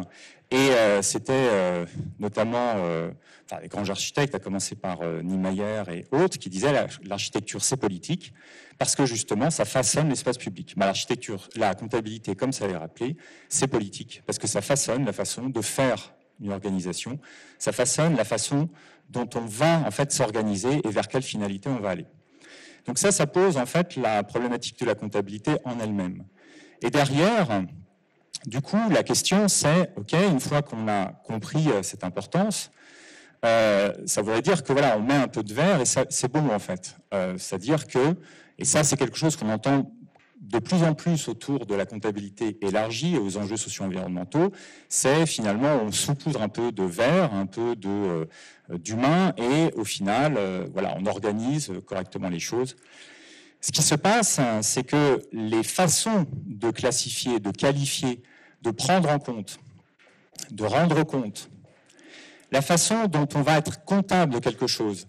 Alors, ce pas des mots qui viennent de nulle part. La comptabilité, elle est là pour montrer ce qu'il faut prendre en compte, montrer de quoi on est comptable, de quoi on est redevable, montrer comment compter, mais je dirais, je ne veux pas le mettre en avant directement, parce que la comptabilité, c'est pas que des chiffres. C'est d'abord de la qualification, c'est d'abord qu'est-ce qu'on prend en compte, de quoi on est comptable, et à qui on rend des comptes. Est-ce qu'on rend des comptes uniquement aux actionnaires? Est-ce qu'on rend des comptes à d'autres acteurs, actrices? Donc tout ça, en fait, amène en fait des questionnements sur ces ces grands principes. Si on veut développer des organisations dites soutenables, si on veut développer une économie à partir de là qui est soutenable, qu'est-ce qu'on prend en compte? Comment on le qualifie? Est-ce que par exemple on va dire qu'un écosystème c'est quelque chose qui doit être intégré, certes, mais uniquement par le prisme des services productifs qu'il génère Ou est-ce qu'on considère qu'un écosystème a une valeur dite intrinsèque C'est-à-dire que l'écosystème existe en tant que tel donc ça, c'est la question de la prise en compte. Même chose pour euh, les êtres humains. Est-ce qu'un être humain, on va euh, l'intégrer par euh, sa productivité, le savoir productif, ou est-ce qu'on considère qu'un être humain, c'est en fait un être plein et entier, avec une intégrité physique et psychique, etc. Donc ça, il y a la question de la prise en compte. La question d'être redevable, c'est est-ce qu'on intègre en fait dans les organisations le fait d'être redevable vis-à-vis des écosystèmes, par exemple, d'être redevable vis-à-vis euh, ben, des êtres humains qui sont employés. Alors Pauline parlait euh, du fait que les êtres humains actuellement, leur qualification dans les systèmes comptables est très simple, c'est des charges. Donc non seulement en fait il n'y a pas de redevabilité, mais on considère qu'en fait ce sont de simples coûts. Donc là, il y a, toutes ces questions-là, et à chaque fois, on va avoir donc plein de façons d'y répondre. Et toutes ces façons d'y répondre vont conditionner la façon de structurer les organisations et potentiellement derrière l'économie vers bah, ce qu'on voudrait être la soutenabilité, mais qui du coup ne va pas aller forcément sur les mêmes orientations. Donc si vous développez en fait des systèmes comptables, et ça a commencé, euh, Jean-Marc a commencé à l'expliquer, où vous dites ce qu'on représente, c'est uniquement la nature par rapport à la productivité et au risque de productivité et de rentabilité qu'elle peut apporter à un actionnaire, si vous dites que là, on rend des comptes qu'aux actionnaires et que euh, derrière, là, on n'a absolument aucune redevabilité vis-à-vis de la nature, vous conditionnez une orientation de l'organisation. Et donc derrière, une, orientation aussi de l'économie qui va avec. Mais vous pouvez faire aussi d'autres choix. Et alors, comment euh, justement euh, alimenter ces choix? Et en fait, la question, et c'est là où ça devient un vrai débat citoyen, on veut quoi en fait? On veut arriver où? Quand on parle de soutenabilité, est-ce que, en fait, on veut arriver à faire en sorte, par exemple, de préserver la planète. Est-ce qu'on va arriver à faire en sorte de préserver le climat sur des bases qui soient scientifiques, qui soient collectivement acceptables, qui soient justes? C'est la base de l'accord de Paris. Donc en d'autres termes, est-ce qu'on veut arriver à respecter l'accord de Paris, par exemple? Est-ce qu'on veut arriver à respecter, euh, enfin à faire en sorte que euh, même au-delà de parler de générations futures, que dès maintenant, en fait, euh, les cours d'eau soient restent potables? Etc. etc. Est-ce qu'on veut faire en sorte hein, de euh, lutter contre les inégalités euh, sociales? Donc il y a une question de finalité qui euh, renvoie encore une fois à un débat citoyen. Et derrière, si on pose ça comme précondition à ce qu'on va appeler soutenable, il faut obligatoirement que les architectures des organisations tiennent compte de ça. Mais tiennent compte de ça de façon démontrable. Et là, on arrive sur un point aussi euh, assez euh, problématique dans les débats autour de la comptabilité, mais aussi de la finance durable. C'est une certaine absence euh, de débat scientifique, d'intégration dans ces débats justement de scientifiques divers et variés. Malheureusement, quand on voit au niveau européen, et c'est encore pire au niveau international, la présence des scientifiques, à commencer par les personnes du GIEC, pour justement avoir un débat, bon, si on met en place ça dans une entreprise, si on met en place telle ou telle norme dans une entreprise, est-ce que ça amène à être accord ou pas avec euh, l'accord de Paris? Eh bien, ce débat n'a pas eu lieu. Il n'a pas eu lieu tout simplement parce qu'il n'y a même pas la possibilité d'avoir lieu. C'est-à-dire qu'en fait, il n'y a même pas de stress test, on parle de stress test, il n'y a même pas de, de possibilité de garantir que, en mettant en place tel ou tel système comptable, on va arriver, bah, par exemple, à tenir l'accord de Paris. C'est même pas discuté. Et J'aurais tendance à dire, je vais être provocant, et on se permet derrière de parler de comptabilité durable. Comment est-ce qu'on peut affirmer ça alors que on n'a même pas de preuve que ça peut apporter une durabilité? Donc il y a un enjeu de choix sur où veut-on aller, qui là est un enjeu vraiment citoyen, démocratique, et il y a un enjeu de contrôler, de pouvoir prouver, de pouvoir faire en sorte que oui, on puisse démontrer que c'est à minima, euh, d'avoir des bases en tout cas de preuves que euh, le système d'architecture, le nouveau système d'architecture des organisations va permettre d'y aller. Donc tout ça, en fait, c'est dans cet euh, univers-là que doit ou devrait s'inscrire la comptabilité durable et qu'il y a des chantiers en fait de, de débat, de discussion, de recherche qui sont au début, parce que encore une fois, comme tout a été rabattu sur un certain niveau d'expertise, sans confrontation directe avec la science, sans confrontation avec un certain nombre de débats collectifs, bon, voilà, on, est vraiment au début euh, du, chemin, même si les travaux en comptabilité socio-environnementale datent de longtemps. Hein. Les premiers travaux, c'est les années 60. Donc il y a quand même du recul aussi dans les débats, et les recherches et les expérimentations. Alors c'est dans ce cadre-là justement que s'inscrit euh, bah, le programme CARE, donc euh, qui a été qui a commencé à être mentionné. Donc CARE, ça signifie Comprehensive Accounting and Respect of Ecology donc la comptabilité intégrée dans les respects des principes écologiques. Le, but, en fait, hein, euh, l'idée derrière CARE, c'est un peu de prendre à bras le corps euh, ces questions en disant, bon, euh, si on prend donc au sérieux la comptabilité, et vraiment au sérieux, c'est-à-dire au-delà de faire du reporting de quelques indicateurs, de faire des inventaires d'indicateurs, si on dit la comptabilité, c'est vraiment pour poser des architectures des organisations, pour assurer le pilotage, pour assurer une requalification des modèles d'affaires, etc., etc., que à partir de là, on pose la question de là où vous voulez aller, et donc hein, vers euh, notamment donc euh, des enjeux de préservation des écosystèmes. Mais qu'est-ce que ça veut dire justement De préservation des êtres humains, qu'est-ce que ça veut dire? Donc si on pose ces questions, et si on couple ça avec euh, bah, comment est-ce que en fait les entreprises fonctionnent dans l'intimité et qu'est-ce qui assure la pérennité d'une entreprise? Qu'est-ce qui fait que euh, voilà on a des économies qu'on va appeler l'économie réelle. Comment l'économie réelle, voilà les PME, les TPE, les PME, les ETI arrivent à fonctionner au jour le jour. Bon, à partir de là, euh, on regarde un peu tout ça et euh, on essaye de voir si on peut en tirer quelque chose. Donc ça, ça a été la, base, en fait, hein, des, réflexions qui ont généré donc le programme. Alors je parle de programme parce que c'est à la fois de la recherche et derrière de la mise en application de terrain avec euh, à la fois des expérimentations, mais de plus en plus ce qu'on appelle des missions, c'est-à-dire le fait de déployer réellement dans une entreprise le système comptable CARE. Donc l'idée derrière CARE, au-delà donc de ces euh, grands enjeux qui ont été euh, discutés et qu'on a essayé d'aborder, c'est euh, de dire bon bah, regardons comment fonctionne la comptabilité de tous les jours des entreprises. Comptabilité qui date pas d'aujourd'hui, qui même date d'avant le capitalisme. Les systèmes comptables en fait financiers classiques, le, mode de fonctionnement date au moins depuis le Moyen Âge. Et on assurait en fait une, une certaine pérennité à l'économie. Donc, ça, ça serait intéressant de voir comment ça fonctionne. En fait, on se rend compte que les règles de fonctionnement ne bah, sont pas extraordinaires, c'est même quelque chose de très prosaïque. Et c'est ce que j'aime appeler de la comptabilité de subsistance. Ça repose sur l'idée de on apporte de l'argent. Cet argent, on regarde ce qu'on fait avec, et il faut absolument garantir que l'argent sera remboursé. Donc c'est pas, ça va pas très très loin c'est vraiment une comptabilité de subsistance, encore une fois. Pour qu'une entreprise fonctionne, il faut qu'on lui apporte de l'argent.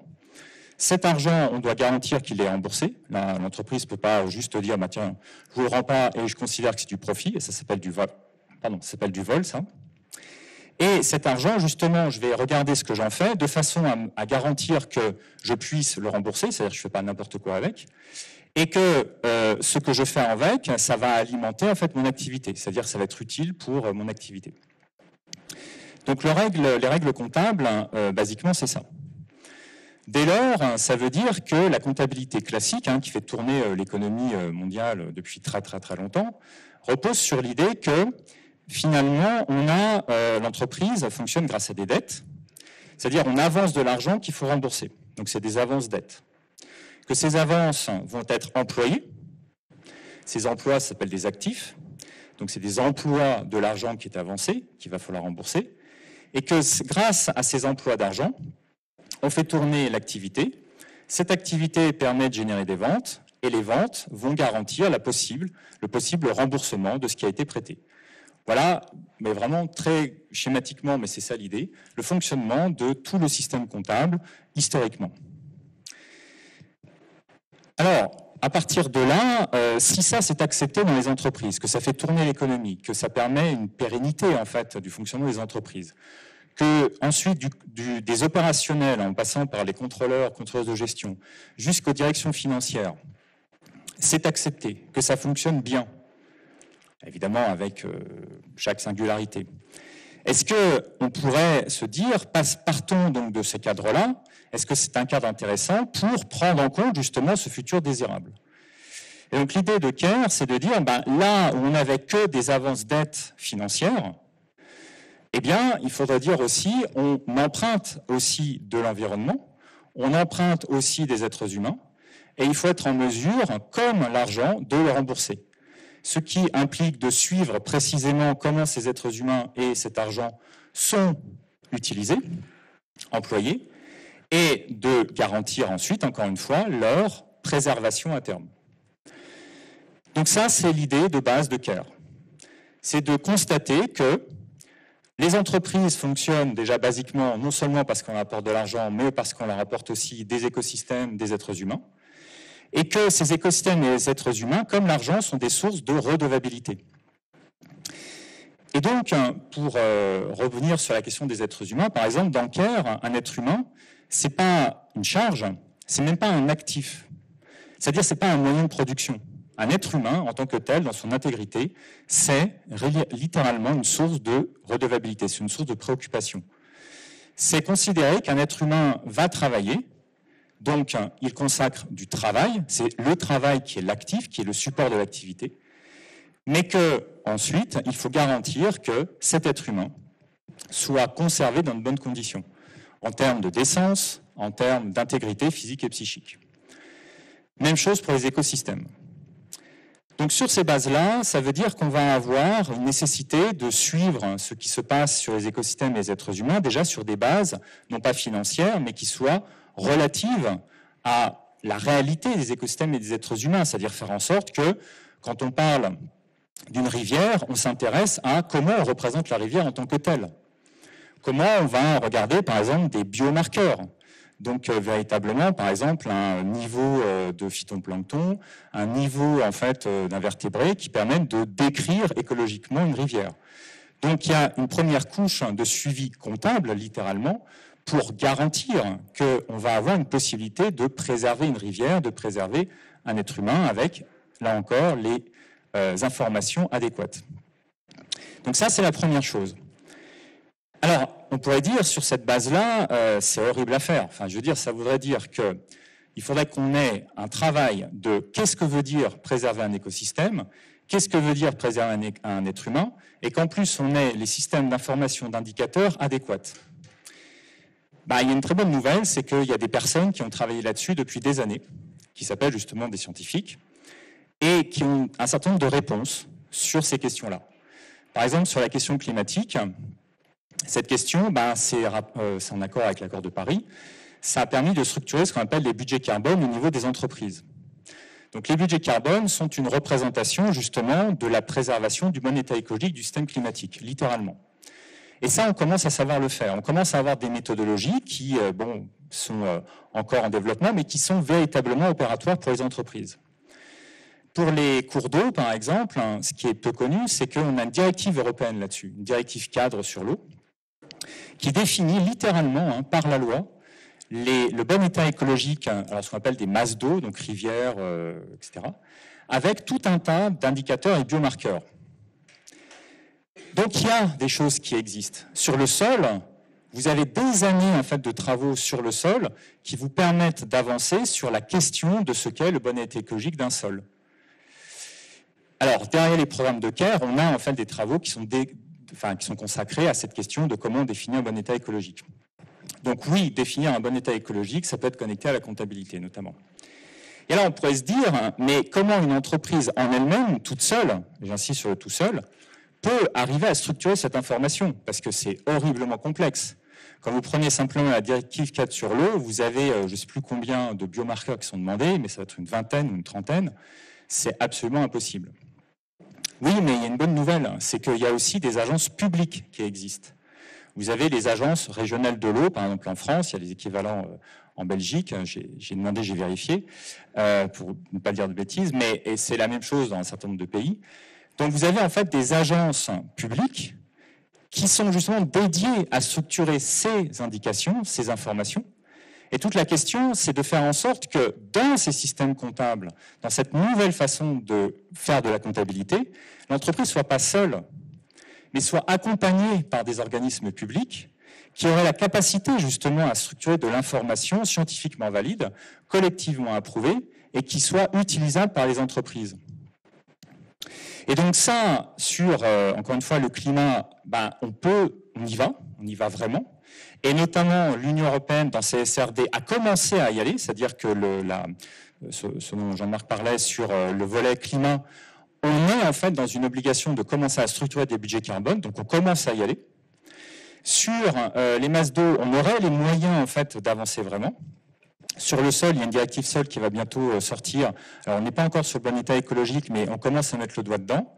Donc il y a des choses qui commencent à se mettre en place. Et ce qui est très intéressant avec la comptabilité, c'est que ça peut être vu véritablement comme une façon d'orchestrer tout ça.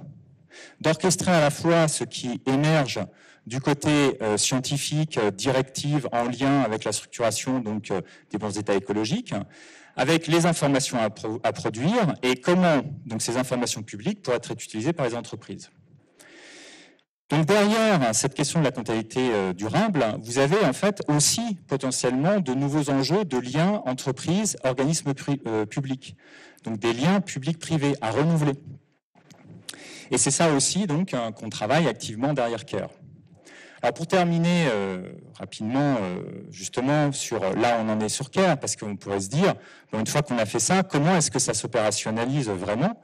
En fait, il va y avoir un couplage avec les flux financiers, non pas sur la base de donner un prix à la nature, ce qui est vraiment à l'opposé de ce que fait CARE. En fait, l'idée, c'est que si vous savez maintenant sur des bases biophysiques comment et qu'est-ce que veut dire préserver un écosystème, la question, c'est de structurer les activités pour le faire et donc d'avoir un pilotage. Voilà un mot extrêmement important dans le cadre de la comptabilité et de la gestion. Comment on arrive à piloter des activités au niveau des organisations pour garantir la préservation et pour garantir qu'on fait en sorte qu'une organisation aille dans une direction ou une autre? Donc on va avoir des activités à piloter. Et ces activités, ben, elles sont coûteuses. C'est-à-dire que voilà, on a des ressources financières à allouer à ces activités pour garantir la préservation des êtres humains et des écosystèmes. Bon, ben ça, ça va être la base hein, de la connexion entre les informations financières et les informations euh, orientées vers les écosystèmes et les êtres humains dans CARE. Au final, euh, ce qui se passe, c'est que euh, le but, encore une fois, c'est d'obtenir une comptabilité dans le sens plein et entier qui permette un pilotage, un accompagnement en fait du pilotage des organisations sur des bases rigoureuses, scientifiquement alignées, qui permettent de coupler des informations à caractère scientifique sur les écosystèmes des êtres humains et les flux financiers internes de l'entreprise, pour pouvoir après avoir aussi des analyses de performance renouvelées.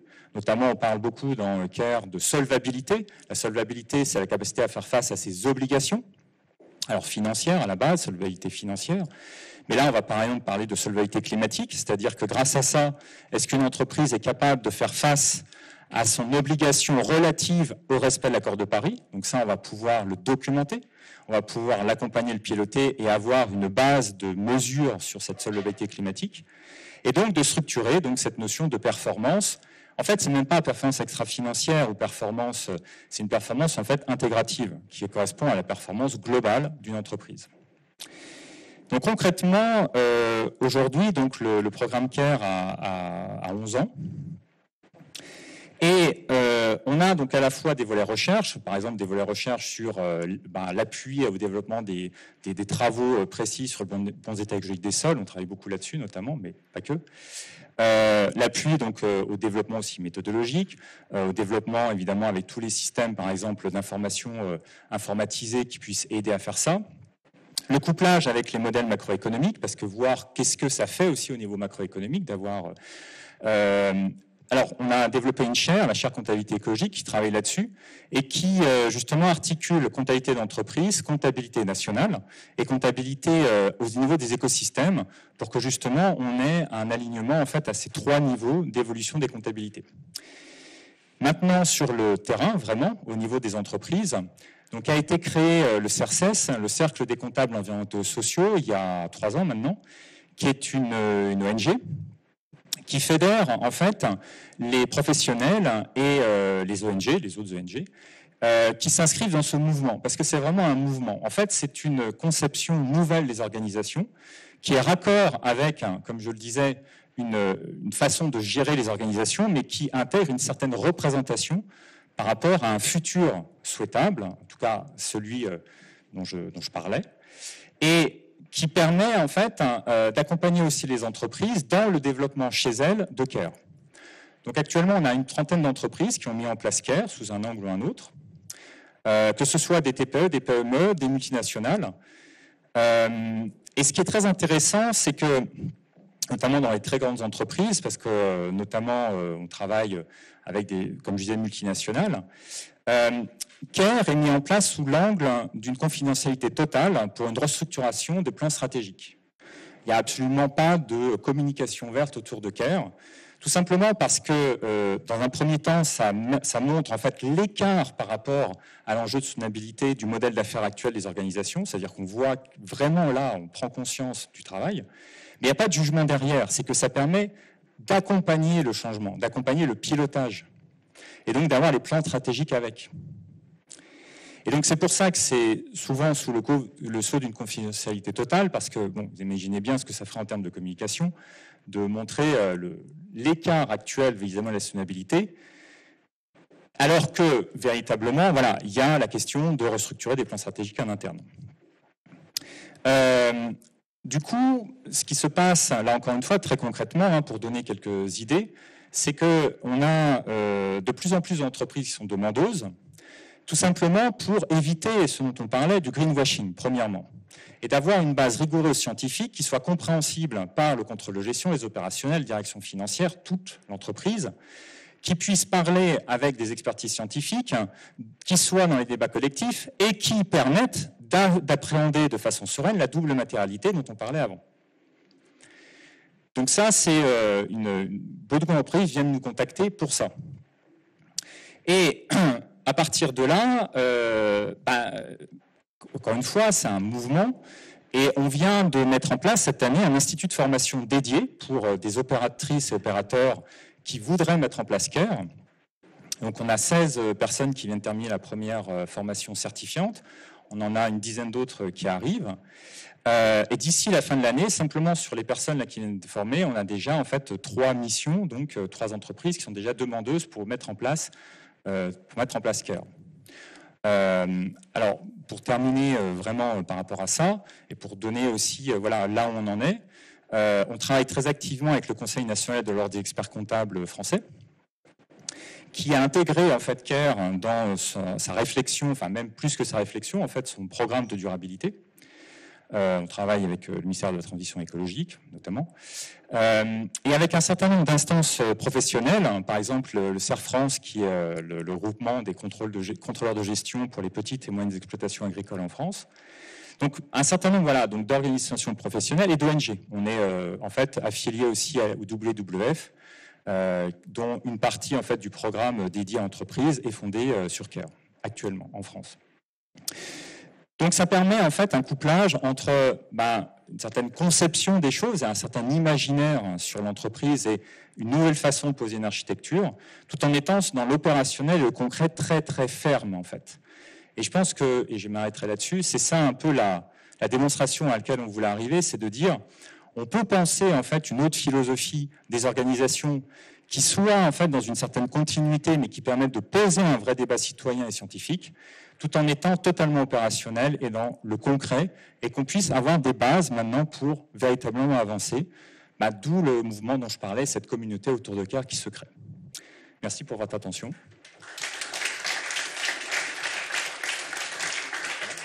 Ne bouge pas. Ne bouge pas, Alexandre. Voilà, on a encore une petite demi-heure pour euh, des questions-réponses. Euh, par rapport à l'exposé, même plus largement par rapport à la, méthode CARE ou, d'autres éléments. Et puis après, on va laisser doucement Alexandre reprendre son chemin vers Paris. Oui. Alors, je crois qu'on a quand même un micro. Hein. Oui. Ah oui, un, un, tout grand merci. J'ai juste une petite question. Enfin, je, comprends en grande ligne, mais pas en détail. Mais il y a euh, bientôt, on parle beaucoup maintenant de impact investing. Est-ce que vous voyez le lien entre, entre les deux? Merci pour la question. Oui, je le vois très très bien. Euh, parce que justement, on, travaille. Alors, euh, on travaille avec beaucoup de gestionnaires d'actifs et notamment dans les gestionnaires d'actifs et autres organismes d'ailleurs de financement, on travaille euh, sur le, volet impact investing notamment. Alors, notamment euh, rattaché à la communauté CARE, euh, on, a, on a une personne qui, en France, a dirigé, pour, au nom du ministère de la Transition écologique, les travaux de définition de l'impact investing. Et il se trouve que dans la définition, il y a une partie qui vient de la philosophie de CARE, enfin, qui a été adoptée en France. L'idée, elle est pas très très compliquée, c'est qu'à partir du moment où vous avez en fait des systèmes comptables hein, qui sont capables euh, donc de structurer ce que veut dire préserver un écosystème des êtres humains, etc. Que vous avez derrière un alignement avec les flux financiers, les coûts réels, et donc vous pouvez directement voir le niveau de financement qu'il faudrait pour atteindre ces objectifs et pour faciliter donc le pilotage des activités sur ces bases-là. Donc dès lors, vous avez euh, le point d'entrée direct avec la question du financement des financeurs qui auraient, euh, enfin, et qui euh, ont en fait directement avec CARE tous les, volumes et le fléchage d'argent qui est nécessaire pour voir quel niveau d'impact on, doit avoir, en fait, on veut avoir. Donc, je dirais, euh, les, états financiers qui sont, enfin, les états intégrés qui sont communiqués par CARE sont directement utilisables par un financeur pour faire de l'impact investing. Et alors, c'est tellement vrai que là, on vient de terminer une mission avec, en plus, une mission qui a été un peu compliquée. Euh, avec une entreprise qui opère euh, dans le secteur euh, des puits carbone. Alors, ça avait été, c'est un peu délicat. On a été obligé de restructurer beaucoup de choses. C'est-à-dire que les missions claires, ça se passe bien, mais on va dire dans une convivialité rude. Et mais ça a fonctionné, c'est-à-dire qu'on est allé jusqu'au bout, on a repris complètement les états financiers et avec une dégradation du bilan, parce que du coup, en fait, on, on a constaté que ce qui était communiqué actuellement, ça n'allait pas du tout. Et du coup, on est arrivé à quelque chose. Et l'entreprise, en fait, nous a littéralement challengé en disant, OK, ben, on est arrivé à ça. Euh, je comprends les bases, les sous-jacents scientifiques, tout ce que vous voulez. Je comprends la philosophie, comment ça fonctionne. Mais ce que je vais faire, je vais donner mes comptes directement à la BPI. Donc la BPI, c'est euh, la Banque publique d'investissement française. Donc c'est le, grand, euh, grand Manitou du financement public. En disant voilà, je le mets. Est-ce que qu'est-ce que la BPI me, me dit en termes de notation? Et est-ce que ça peut rentrer en fait dans des plans de financement durable et notamment impact? Eh bien, la BPI a validé et son entreprise a pris 60% de revalorisation. Là, ça arrivé euh, le mois dernier. Et ça a été présenté euh, notamment au Salon Pro Durable, ça vous parle, euh, il y a une semaine. Donc c'est juste pour dire que oui, oui, c'est totalement aligné avec les enjeux d'impact investing.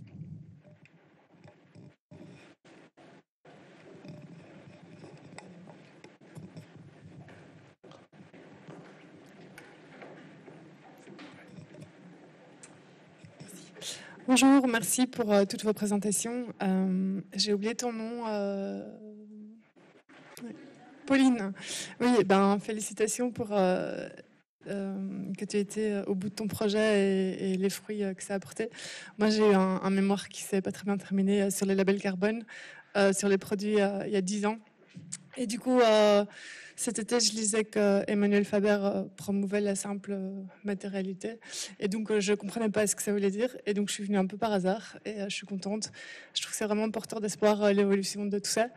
Et pour l'instant, je suis prof de néerlandais, mais j'aimerais bien un peu me, me, remettre à niveau. Donc, voilà. Merci beaucoup.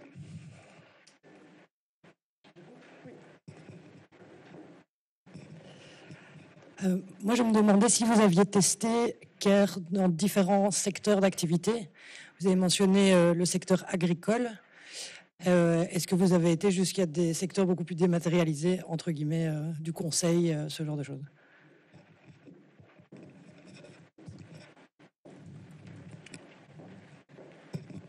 Alors, oui, au fur et à des années, on a pu passer par plusieurs secteurs. Alors, industriel, enfin, je, je le cite parce que voilà, très émetteur et très. Euh, et aussi services informatiques.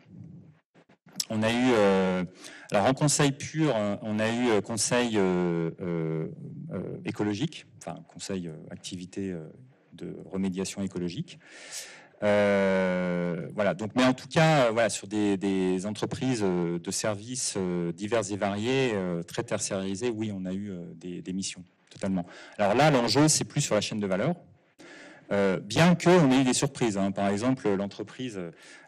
en, deux mots, euh, l'entreprise en fait de conseil euh, en, remédiation écologique est venue vers CARE en disant on fait des choses très très bien, montrez-les. Bon, c'est c'est pas le but de CARE. Le but, c'est de piloter en fait une entreprise dans un cadre de sustainabilité. Mais on dit OK, on va, travailler. Puis bon, il n'y a pas de raison de pas travailler justement. Et ce qui s'est passé, c'est qu'on s'est rendu compte que, alors certes, évidemment, ils produisent des, services qui sont très intéressants, hein. ils sont en plus euh, vraiment bien, hein. il n'y a pas de souci par rapport à ça, mais pour le faire, en fait, ils sont obligés euh, de bétonner euh, certains, certains espaces. Et ils sont obligés en fait de faire appel dans la chaîne de valeur à certaines choses, et qui font que quand on commence à reposer intégralement leur modèle d'affaires, bah, c'est pas si vertueux que ça.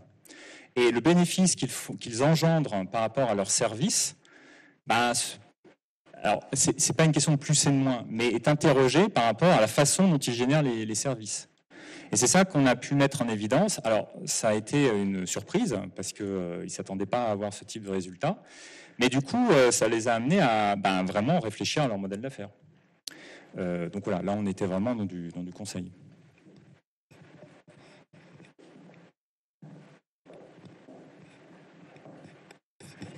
Merci. Merci. Donc, D'abord, merci, euh, félicitations à tous pour les, pour les exposés. Moi, j'ai une casquette de, comptable national. En fait, je travaille euh, à la Banque nationale qui est responsable de, de l'établissement des cours nationaux en Belgique. Et j'ai pas de questions. En fait, j'avais peut-être un petit commentaire par rapport à ce que, ce que vous avez présenté. Donc, vous avez bien mis en avant le fait que euh, à partir du moment où la comptabilité d'entreprise intègre en fait ces nouveaux éléments verts ou environnementaux, ben, finalement, ça façonne aussi les choix qui seront posés par, euh, par l'entreprise. Et donc, voilà, ça, ouvre des, des, voies euh, favorables pour le futur. Un autre élément important, c'est qu'en fait, euh, les bilans des entreprises, c'est peut-être l'ingrédient principal, majeur pour, pour établir les comptes nationaux en Belgique, mais aussi dans, dans les autres pays d'Europe. Donc en fait, plus les bilans seront riches en informations sur ce genre de choses, plus en fait les comptables nationaux seront, euh, seront en mesure de pouvoir intégrer euh, ceci dans la comptabilité nationale, sachant que voilà, ce sont des, données dont on sait qu'il y a une garantie de fiabilité, d'exhaustivité, de, de, stabilité dans le temps. Donc, je crois que oui, c'est un, un, pont en fait vraiment intéressant entre entre les deux, les deux thématiques. Maintenant, je voulais rajouter un petit point peut-être sur, les, sur ce qui se fait au niveau international, parce que c'est vrai que ça, bouge aussi pas mal au niveau, euh, international par rapport à, ces enjeux-là. Donc, il y a un, très grand euh, chantier hein, en cours euh, actuellement au niveau, au niveau mondial, la réforme du, système des, des, comptes nationaux, qui après sera transposée au niveau européen. Mais là, on parle d'un horizon plus éloigné, 2029. Et ce qui est intéressant, en fait, dans, la démarche internationale, c'est qu'il y a bien sûr une plus grande prise en compte des, enjeux et de la mesure, on va dire, euh, euh, des, aspects environnementaux, mais il y a en parallèle aussi une volonté, en fait, de, mieux mesurer tout ce qui concerne les inégalités, sachant finalement on sait tous que euh, le grand débat aussi derrière la transition écologique, ce sera euh, faire en sorte en fait de, de, faire ça ou de financer ça de manière suffisamment égalitaire dans, la société ou la moins inégalitaire possible, hein, surtout si on passe par des, voilà, des, canaux de prix, de subsides, de fiscalité. Euh, donc c'est vraiment euh, voilà, des thématiques qui sont au cœur des grands chantiers au niveau international européen dans la comptabilité nationale. Merci beaucoup pour vos, exposés. Ma question, c'est un peu une légère digression, euh, et on vient justement euh, d'en parler. Euh, avec la comptabilité d'entreprise, on parle beaucoup des liens entre les entreprises et les investisseurs, entre les entreprises entre elles. mais il y a sûrement aussi, j'imagine, des, liens importants entre les entreprises et l'État. Et on parle donc de fiscalité. Et ma question est de voir quel type un peu d'innovation fiscale on peut avoir grâce à ces comptabilités nouvelles pour les entreprises. Qu'est-ce que vous avez euh, un peu à nous dire à ce sujet-là?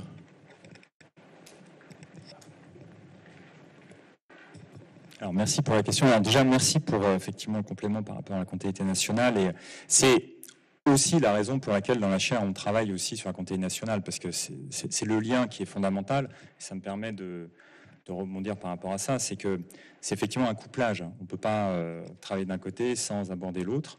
Euh, là, justement, euh, il y a une thèse que je co-encadre qui va commencer sur la fiscalité écologique à partir de la comptabilité, et notamment à partir de CARE. Et je ne cache pas que c'est une porte d'entrée qui a intéressé directement les experts et experts comptables. Hein. C'est une raison. dans, les, pistes, en fait, ce il y a une première chose assez naturelle et assez directe, c'est les problématiques de suramortissement. Euh, qui permettent de faire des fléchages d'investissement spécifiés, c'est-à-dire euh, en jouant sur l'amortissement, donc euh, la règle de consommation des immobilisations, donc des investissements, on peut favoriser ou défavoriser des investissements. Alors actuellement, par exemple, en France, on a des règles de suramortissement sur l'investissement, par exemple dans la tech, des choses comme ça mais il n'y a rien dans, le vert, euh, entre guillemets, dans le durable, tout simplement parce qu'on n'a pas de catégorie comptable, on n'a pas de fléchage, on ne sait pas en fait ce que veut dire euh, investir dans le durable. Donc si on a des bases comptables propres, on peut passer des règles de suramortissement et donc euh, inciter à, investir dans un endroit ou dans un autre. Donc ça, c'est un exemple. ensuite, on a toutes les règles de calcul de TVA qui peuvent être adaptées. Euh, donc une TVA écologique. Pour savoir comment l'adapter, il faut une base comptable pour savoir précisément. Voilà. Donc c'est deux exemples, mais parmi euh, une multitude d'autres euh, façons de, procéder. Et ça me permet de préciser un point, c'est qu'actuellement la fiscalité écologique, notamment taxe carbone, etc., est, conceptualisée d'une façon complètement extra-entreprise. C'est-à-dire qu'on façonne une, taxe hors du monde de l'entreprise on bombarde l'entreprise de la taxe et en disant, grâce à ça, ce qu'on appelle le signal prix, l'entreprise va réadapter automatiquement son fonctionnement. C'est quelque chose qui euh, laisse un peu rêveur. Euh, parce que euh, notamment on a plein d'effets pervers, à commencer par le fait qui a été constaté hein, que quand vous augmentez une simple charge à un moment donné, vous avez un phénomène de compensation par une autre charge, commencer par les salaires. Donc, le, fait de automatiquement faire en sorte que l'entreprise, simplement en recevant la taxe, va faire autre chose, c'est très illusoire. Par contre, le monde de l'entreprise est rythmé par la comptabilité. Et la plupart de la fiscalité de l'entreprise se base sur la comptabilité. Donc il s'agit de remettre aussi les choses un peu dans le bon ordre.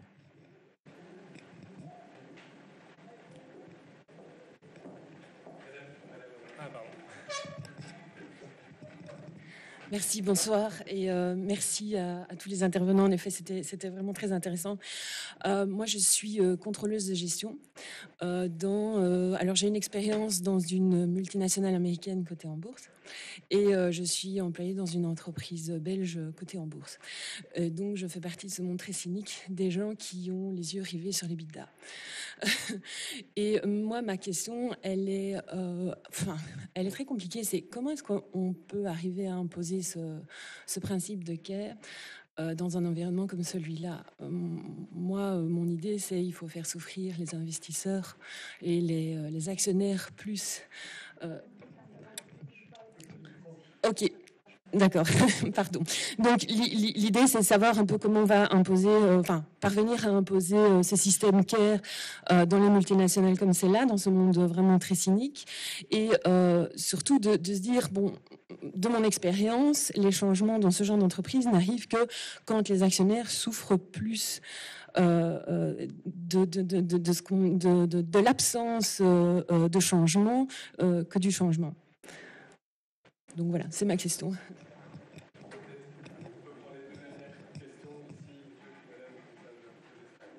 Oui, merci beaucoup pour votre exposé. Juste pour rebondir par rapport à l'exemple que vous avez donné par rapport à la société qui a pris une, hausse du cours euh, de 60%, si je ne me trompe pas, euh, une revalorisation. Est-ce que cette valorisation est expliquée par une amélioration des flux financiers, donc une revue, suite à la revue des normes comptables, on s'est rendu compte que les flux financiers étaient plus élevés, ou est-ce expliqué par le fait que la société est beaucoup plus en ligne avec les normes de soutenabilité? Ou est-ce que c'est les deux?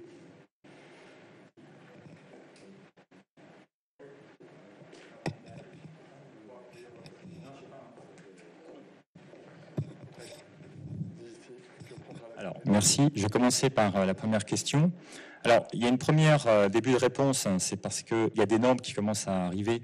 Et euh, je ne l'ai pas précisé, mais CARE et CSRD, en fait, enfin, CARE est vraiment dans une sorte d'horizon de CSRD. CSRD, c'est, euh, ça peut être vu comme une première marche pour aller vers CARE. Et on a vraiment, là, de plus en plus d'entreprises qui viennent euh, vers nous en disant il y a CSRD qui arrive. Euh, déjà, on veut comprendre ce qu'il y a derrière, mais on veut surtout anticiper parce que CSRD, c'est un mouvement. C'est pas juste un truc là qui, va s'arrêter. et donc, notamment au sein de l'institut de formation dont je parlais, l'ICGS, l'institut de formation en comptabilité et gestion soutenable qu'on a monté, il va y avoir des formations CSRD CARE. Euh, voilà, c'est une première euh, réponse, c'est qu'il y a vraiment des avancées euh, normatives qui permettent voilà, de prendre en compte ça. À côté de ça, il y a d'autres avancées normatives dont Jean-Marc a parlé sur l'ISSB qui vont dans l'autre sens. Et alors ça, c'est le gros problème. c'est un problème de fond, et c'est pour ça aussi que la comptabilité est politique. la deuxième chose, hein, c'est que je prends un exemple, alors pas le droit de dire le nom, mais il y a un gros industriel français qui euh, est venu de Verker par des dialogues avec le WWF. On a été donc sur quelque chose de totalement confidentiel avec restructuration des plans stratégiques, notamment sur les filières d'approvisionnement. Et on a euh, donc ça avait commencé avec la direction RSE, ça a été repris ensuite par la direction financière et la direction R&D. Et on a, par exemple, évalué une dette écologique absolument monstrueuse. Hein. C'était vraiment, avec ça, l'entreprise était en train de couler. Et alors, on, avait très très peur quand on est passé dans la direction financière. Et la direction financière nous a dit, euh, c'est des chiffres hein, qui sont congruents avec ce qu'on avait en tête. Et ça nous a permis, en fait, hein, et véritablement, hein, de se rendre compte que euh, y avait dans les entreprises, là je ne parle pas au niveau du bord, pas des actionnaires, mais au niveau euh, des, directions, des anticipations. Et qu'il y a une recherche d'avoir des plans qui soient des plans rigoureux, qui ne soient pas du n'importe quoi, des plans rigoureux pour prendre en compte le fait que oui, il y a des choses qui sont en train de changer. Et donc je dirais qu'une porte d'entrée, euh, c'est justement pas d'y aller de façon euh, forcément frontale hein, sur euh, des grandes entreprises, des grandes multinationales avec un board qui est très, très embêtant, mais d'y aller par justement le top management sous l'angle de on pose en fait des plans stratégiques et que c'est à eux en fait d'expliquer que il faut tenir compte de quelque chose, qu'on ne peut pas faire autrement, et que quand on voit les écarts, euh, il y a un moment donné, même si on ne va pas sur le maximum du maximum, euh, ça ne peut pas être euh, juste laissé comme ça. Et ça, ça commence à prendre. C'est pour ça qu'on travaille notamment, comme je disais, avec un certain nombre de multinationales. Donc voilà, c'est deux, pistes, mais je suis d'accord que voilà, il y a beaucoup de points d'interrogation, mais il y a de l'espoir quand même. Et sur la, question de la revalorisation, en fait, c'est, euh, bah je dirais pas ni l'un ni l'autre parce qu'il y a un peu, euh, voilà, un peu saupoudré, mais c'est que euh, ça a permis en fait de la rendre moins risquée. Voilà, c'est du point de vue de la BPI notamment. avant, c'était un truc investissement puis carbone, un peu, c'est pas trop. Et là, ça a été quelque chose de carré avec euh, un vrai pilotage, avec une vraie feuille de route, etc. Donc bah là, c'est crédible. Voilà, tout simplement. Enfin, simplement. Une dernière question, puis je dirai quelques mots de conclusion. Euh, est-ce que vous faites partie de la convention, euh, la CEC Climat Monde Financier? Parce que je me dis là, ce serait vraiment voilà, magnifique. Donc, merci pour la bonne nouvelle. Et je suis vraiment touchée par cette notion de il n'y a pas de débat public. Euh, en effet, c'est que des experts. En gros, si on n'aime pas les chiffres, euh, j'ai adoré l'introduction, comment on met passion et, comptabilité euh, dans un seul mot une seule phrase. Et bah, du coup, c'est quoi le plan pour que ça devienne public et, qu'on en parle et que tout le monde s'en empare Alors, merci pour la question. Oui, donc je suis effectivement dans la CEC Climat. J'interviens pour tout dire en mars euh, une session où il y aura aussi d'ailleurs Emmanuel Faber, au passage. Euh, et le, donc, par rapport à cette question, qu'est-ce qu'on fait? Bah, C'est euh, le but du CERCES. Voilà, le CERCES a vraiment été créé euh, pour d'abord arriver à faire monter dans le débat public et citoyen la question comptable. Euh, et à partir de là, donc de structurer les controverses. Et la fédération de la communauté CARE, c'est vraiment comme une réponse à ça. C'est-à-dire, c'est non seulement faire monter, mais de dire faire monter le débat, mais pas juste de, dire, bon, bah, voilà, maintenant, euh, euh, voilà, vous saisissez de ça et puis c'est tout. Mais se dire, voilà, il y a une orientation possible sur des bases qui là sont claires. Donc si vous voulez ça comme orientation, bah, allez-y. Mais la, première fonction du CERCES, c'est vraiment cette question de faire monter le débat public. Donc adhérez au CERCES, soutenez le CERCES. Et il y a plein de choses à faire. Et juste concrètement, euh, ça a permis, par exemple, que là, euh, on a euh, été auditionné à l'Assemblée nationale il y a trois mois, que à l'heure actuelle en France, alors déjà dans les débats côté, encore une fois dans des petits cercles, mais plus grands qu'il y a cinq ans, CARE devient assez incontournable. Et ça remonte de plus en plus sur un certain nombre de politiques qui entendent de plus en plus parler de CARE, par exemple. Mais évidemment, c'est au tout début. Puis on a de plus en plus de, médias aussi qui s'y intéressent. Euh, donc voilà, on commence à ouvrir des portes, mais c'est pour ça qu'il faut euh, augmenter la communauté. Donc encore une fois, euh, venez si ça vous dit. Un tout grand merci, je crois qu'on peut l'applaudir. voilà, voilà. De ce côté-là. Merci beaucoup. Alors, je vais juste faire deux, trois mots de, conclusion avant le drink, parce que vous avez de la chance, comme vous êtes les, premiers. On ne fera pas un drink chaque fois, mais cette fois-ci, on a prévu un bon drink, qui est même plus qu'un drink. Il y a un petit peu à manger, euh, et donc dans, quelques minutes. Euh, peut-être juste deux, trois réflexions en, écoutant un petit peu tout ça.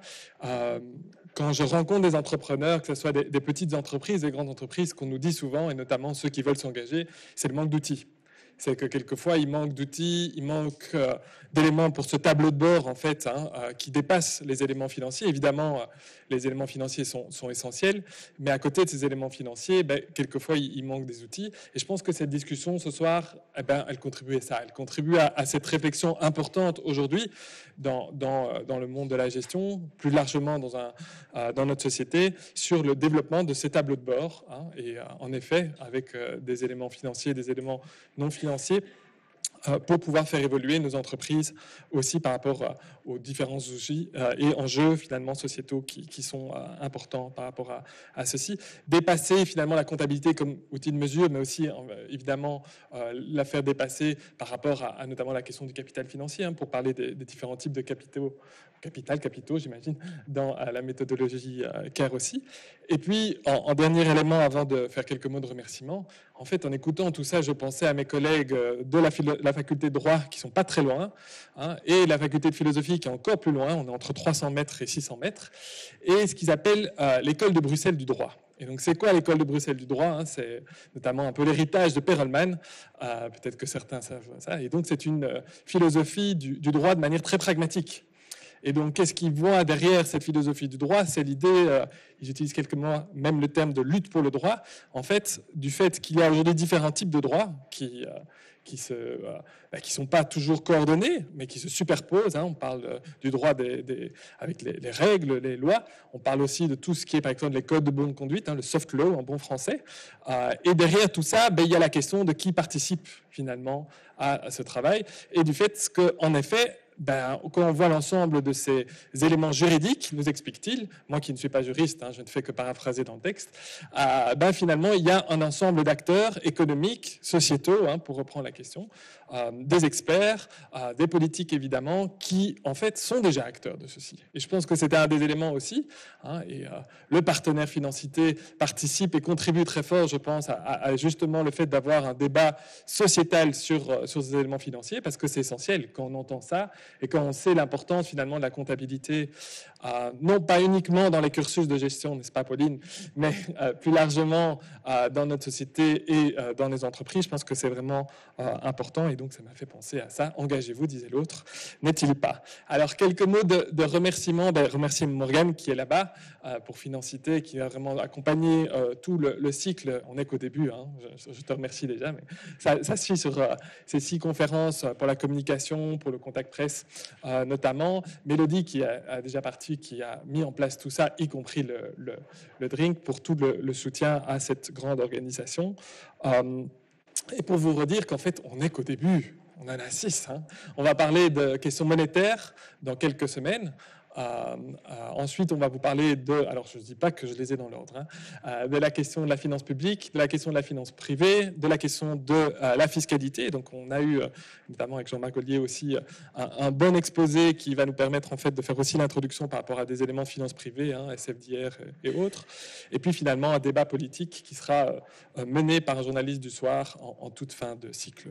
Voilà, c'est tout, j'ai plus rien à dire. Euh, on va vous montrer le chemin dans quelques minutes parce qu'il va falloir traverser la route, il n'y a pas de voiture, euh, et le drink est juste en face, et donc venez tous, ça va être bon. À bientôt.